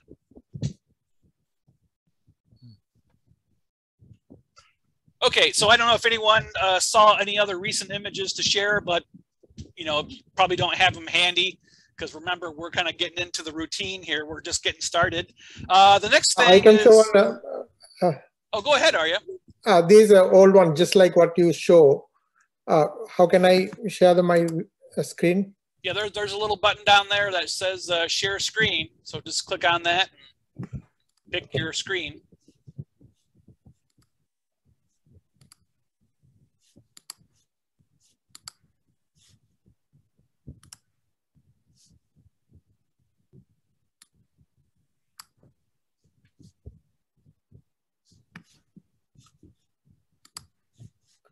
Um, well, Well, we'll come back to it, are you? okay. Just at the top. Keep uh, practicing on that. Uh, another new thing is that that I want to do every month is uh, new astrophotography related equipment and software. We can talk about stuff we purchased and new stuff that just came out on the market. Um, the one thing I wanted to share is uh, here is my, um, I think I'm sharing my video. I'm not sharing my video, am I? Uh, so here I am. Uh, so this is my uh, T adapter uh, for the Celestron Edge HD uh, line of telescopes. I have a nine and a quarter inch Edge HD. And the one thing that really irks me about this uh, T adapter is there's nowhere to include two inch filters, you know, like say an Optolong L enhanced filter or something like that. So I was looking around and went to Star Starizona's website and they have uh, this one here. And you're probably thinking, hey, it looks, uh, it looks exactly the same. And let me make myself the spotlight here. Yeah, I don't see you. Oh, okay. Uh, okay. Yes, there you go. Okay. So you guys can see me there. So here's my uh, Star Starizona T adapter, and it looks pretty much like the other one. So I'll, if you didn't see me before, there's the uh, Celestron version. Right. That, that does not take filters, and here's the Star Starizona version. So I can unscrew it here, which the Celestron one cannot do. Make sure I don't drop it. Really? I, and there is a, I already have a filter in there. So there's my L enhance filter uh, threaded on to the back of the T adapter. So um, if you have an Edge HD telescope like me, and you want to use a two inch filter because of the rampant light pollution we have to deal with around here, uh, I found this a really little handy thing. And uh, one of these days I may actually use it, but between the remote telescope and the Ashby telescope, I haven't been using my own stuff and I don't know how long. so where, where did, what's the name of that again? It's, that... I, it's from Starizona in, in Arizona. Okay because that's exactly what I, I've got the same issue. I, I can't put anything between, you know, between my camera and the telescope right now because I have that same adapter you just showed. Yeah. Yep. So it's from Starizona. It's it's pretty easy to find on their website. I don't. The only thing that right. really hurt, you know, the, the, the one thing I'll say negative about it is it didn't come in a box. it, it was just wrapped in bubble wrap thrown into a packaging box and I like to keep my stuff in boxes so it doesn't get scratched up from other stuff. So. So do they have different cameras they attach to? Because you know the the the part that attaches to your camera has to be unique for. Yeah this will basically accept uh, you know ZWO cameras and uh, DSLR cameras with the T adapter. And uh, but, but of course uh, they're you know unless you have the clip-in filter for your DSLR you know there's nowhere to put a filter but at the right. time anyway, when I bought my Optolong filter, they weren't offering a, a clip-in filter. I don't know if they are now or not, but I, I have the two-inch version. So yeah, there's a you could put a front end on that um, RA camera with the with the caddy for two filters in there, but I I would rather just try and start out with being able to slip one in like you do there with a different adapter going into the telescope. Yeah. Okay. Anybody else have any new equipment that they want to share or? Yeah, I, I do, Richard. I can show. Oh, I'm lazy. I'm not going to go out to the observatory, but I'll show the camera. Um, uh, on the left here, I got a, I bought a, a Spike-a flat, um, flat field, uh, frame, um, generator. So I can get a nice, um, lot more, uh, consistent flat field. So it's the, basically I could turn it on. Oh, I should probably, I could turn it on right now actually. Um, so yeah, so I have it on a, um, a um, it's, it's, we're looking inside my dome right now. So I have it on a uh, computer um, monitor arm, and so um, so I can just I have a park position for the um, AP mount, so I can just send off the mount to point at it, and then so when my imaging is done, I just pointed it at, at it and takes the flat frames. Um, I think I can actually. Pete, what what is the name of that again? It's called Spike A flat, Spike-a. So S P I K A flat. Um, should be able to turn it on here real quick. It's a uh, this one has a USB control. You just gotta. Oops, I just gotta wait wait for it to turn on here a minute.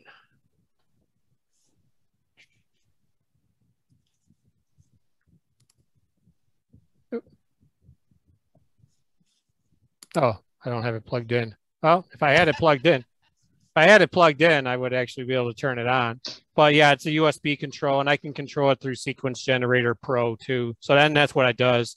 Sequence Generator just turns it on, sets up the brightness levels. My filters automatically takes the flats for me. So, and then the mount just points to it. I have it as a custom park position, points it off to the left. Um, so, or I can set it on top. Um, the only thing I haven't figured out is how to point. I have two scopes on there right now. I have the refractor on the right and the RC on the left, and I can't. It's only a 12 inch diameter, so I, and I can't fit them both at the same time.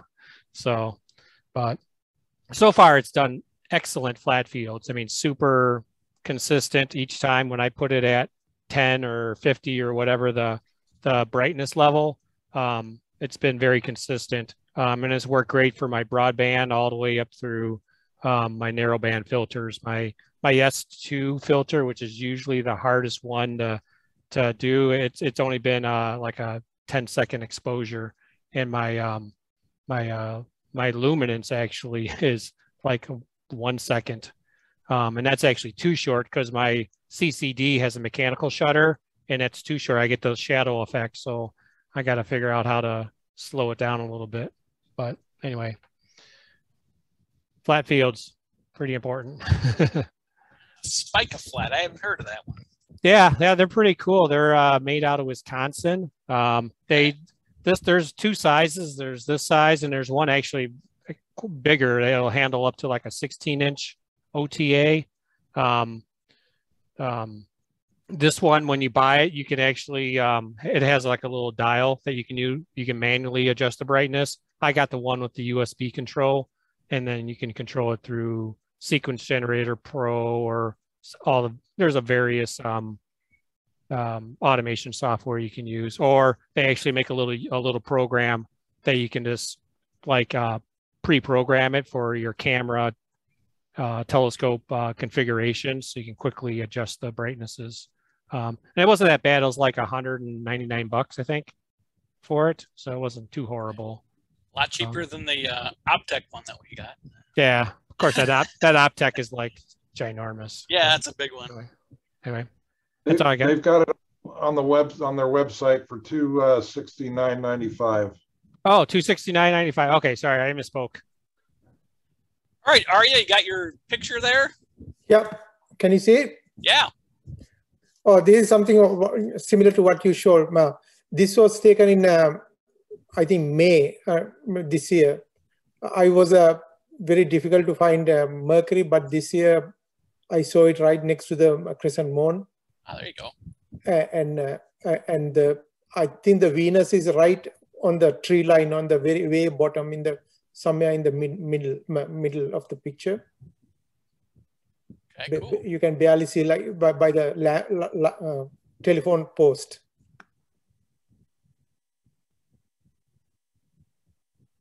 That's very nice. Yeah. You got the technical was, details handy, are you? Huh? You got the technical details?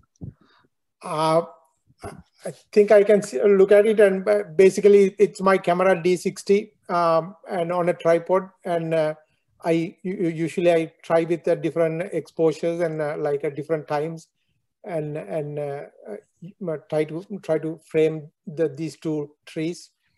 This was in Schoolcraft. Okay. Okay. Yeah.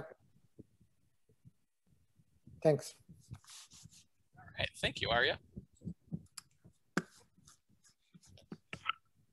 All right, uh, moving on here. Um, I want to make a few announcements. Um, next month, we, uh, or not next, yeah, next month, uh, very early next month, we have uh, astrophotography night.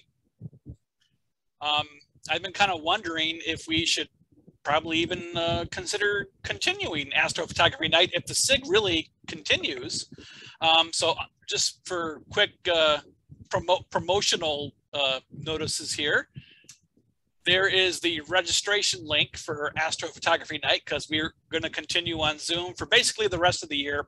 So of course we've been doing astrophotography night since at least the 70s. I believe Eric Schreur started it uh, way back in the day uh, in the early 70s. So uh, that's where we basically share our best images with the uh, membership and any guests we happen to have.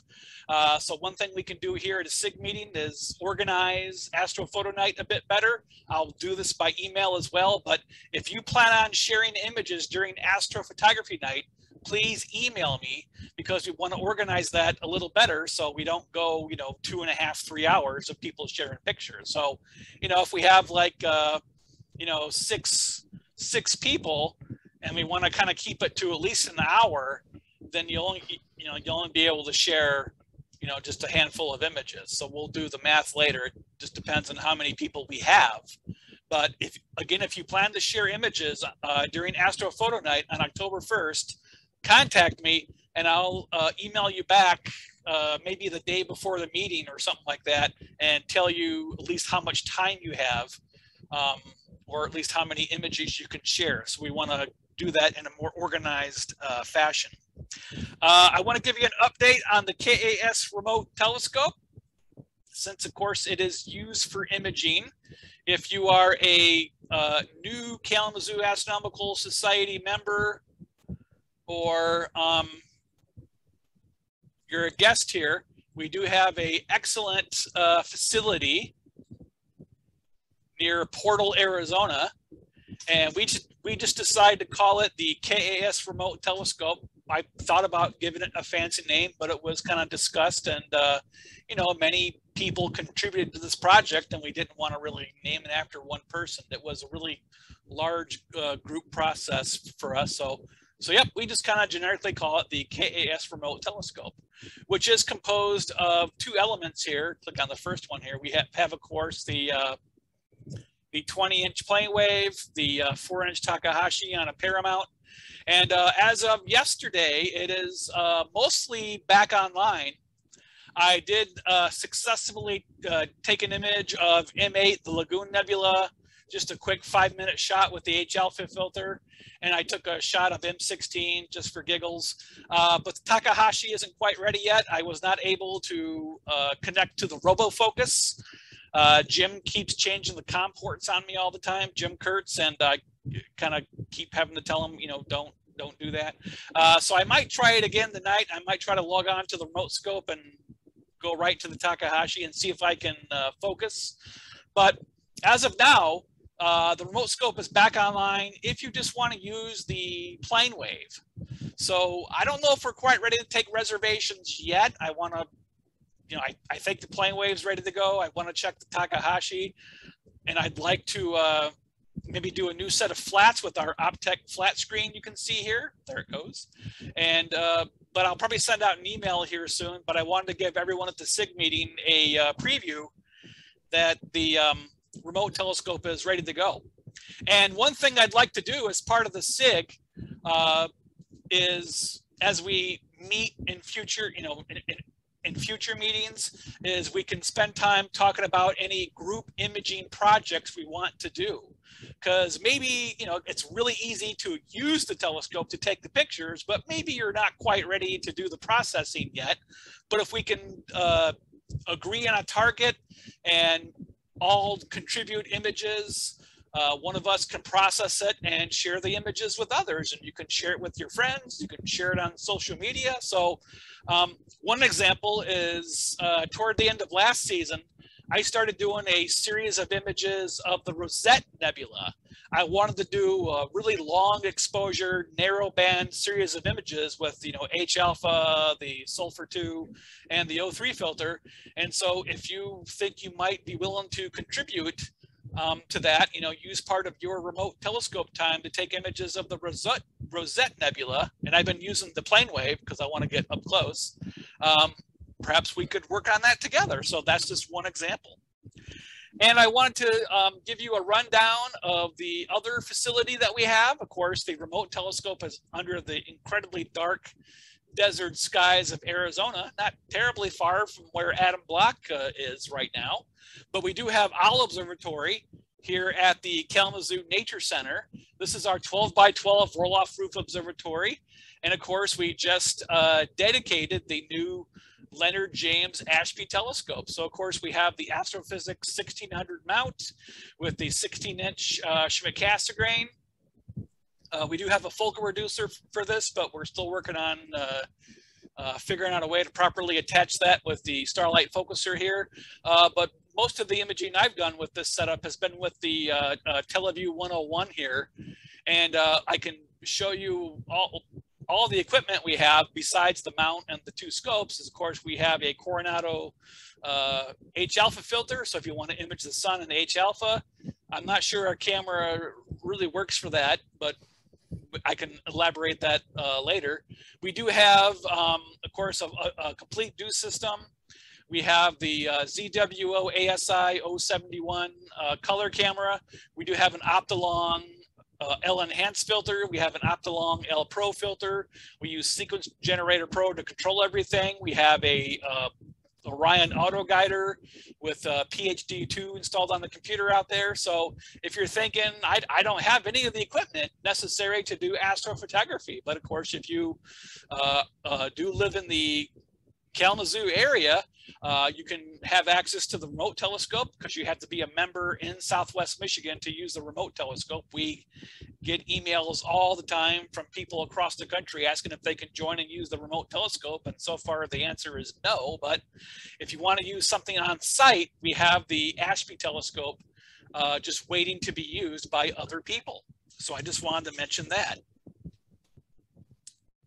Any, any, any comments about any of that? Okay, so the last thing is a preview for next month's meeting. Uh, I think he's still here, so. Uh, yeah, I'm still here. Okay, Jonathan, you're here. So go ahead and give us a preview for next month's uh, feature presentation. Yeah, so um, so I'm Jonathan Young. Uh, I've been an astro imager maybe for the last seven or eight years or so.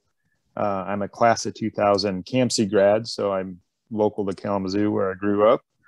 Uh, and since then, I've been, you know, lots of engineering work, but from the Astro side of things, uh, I've been kind of evolving my craft a little bit.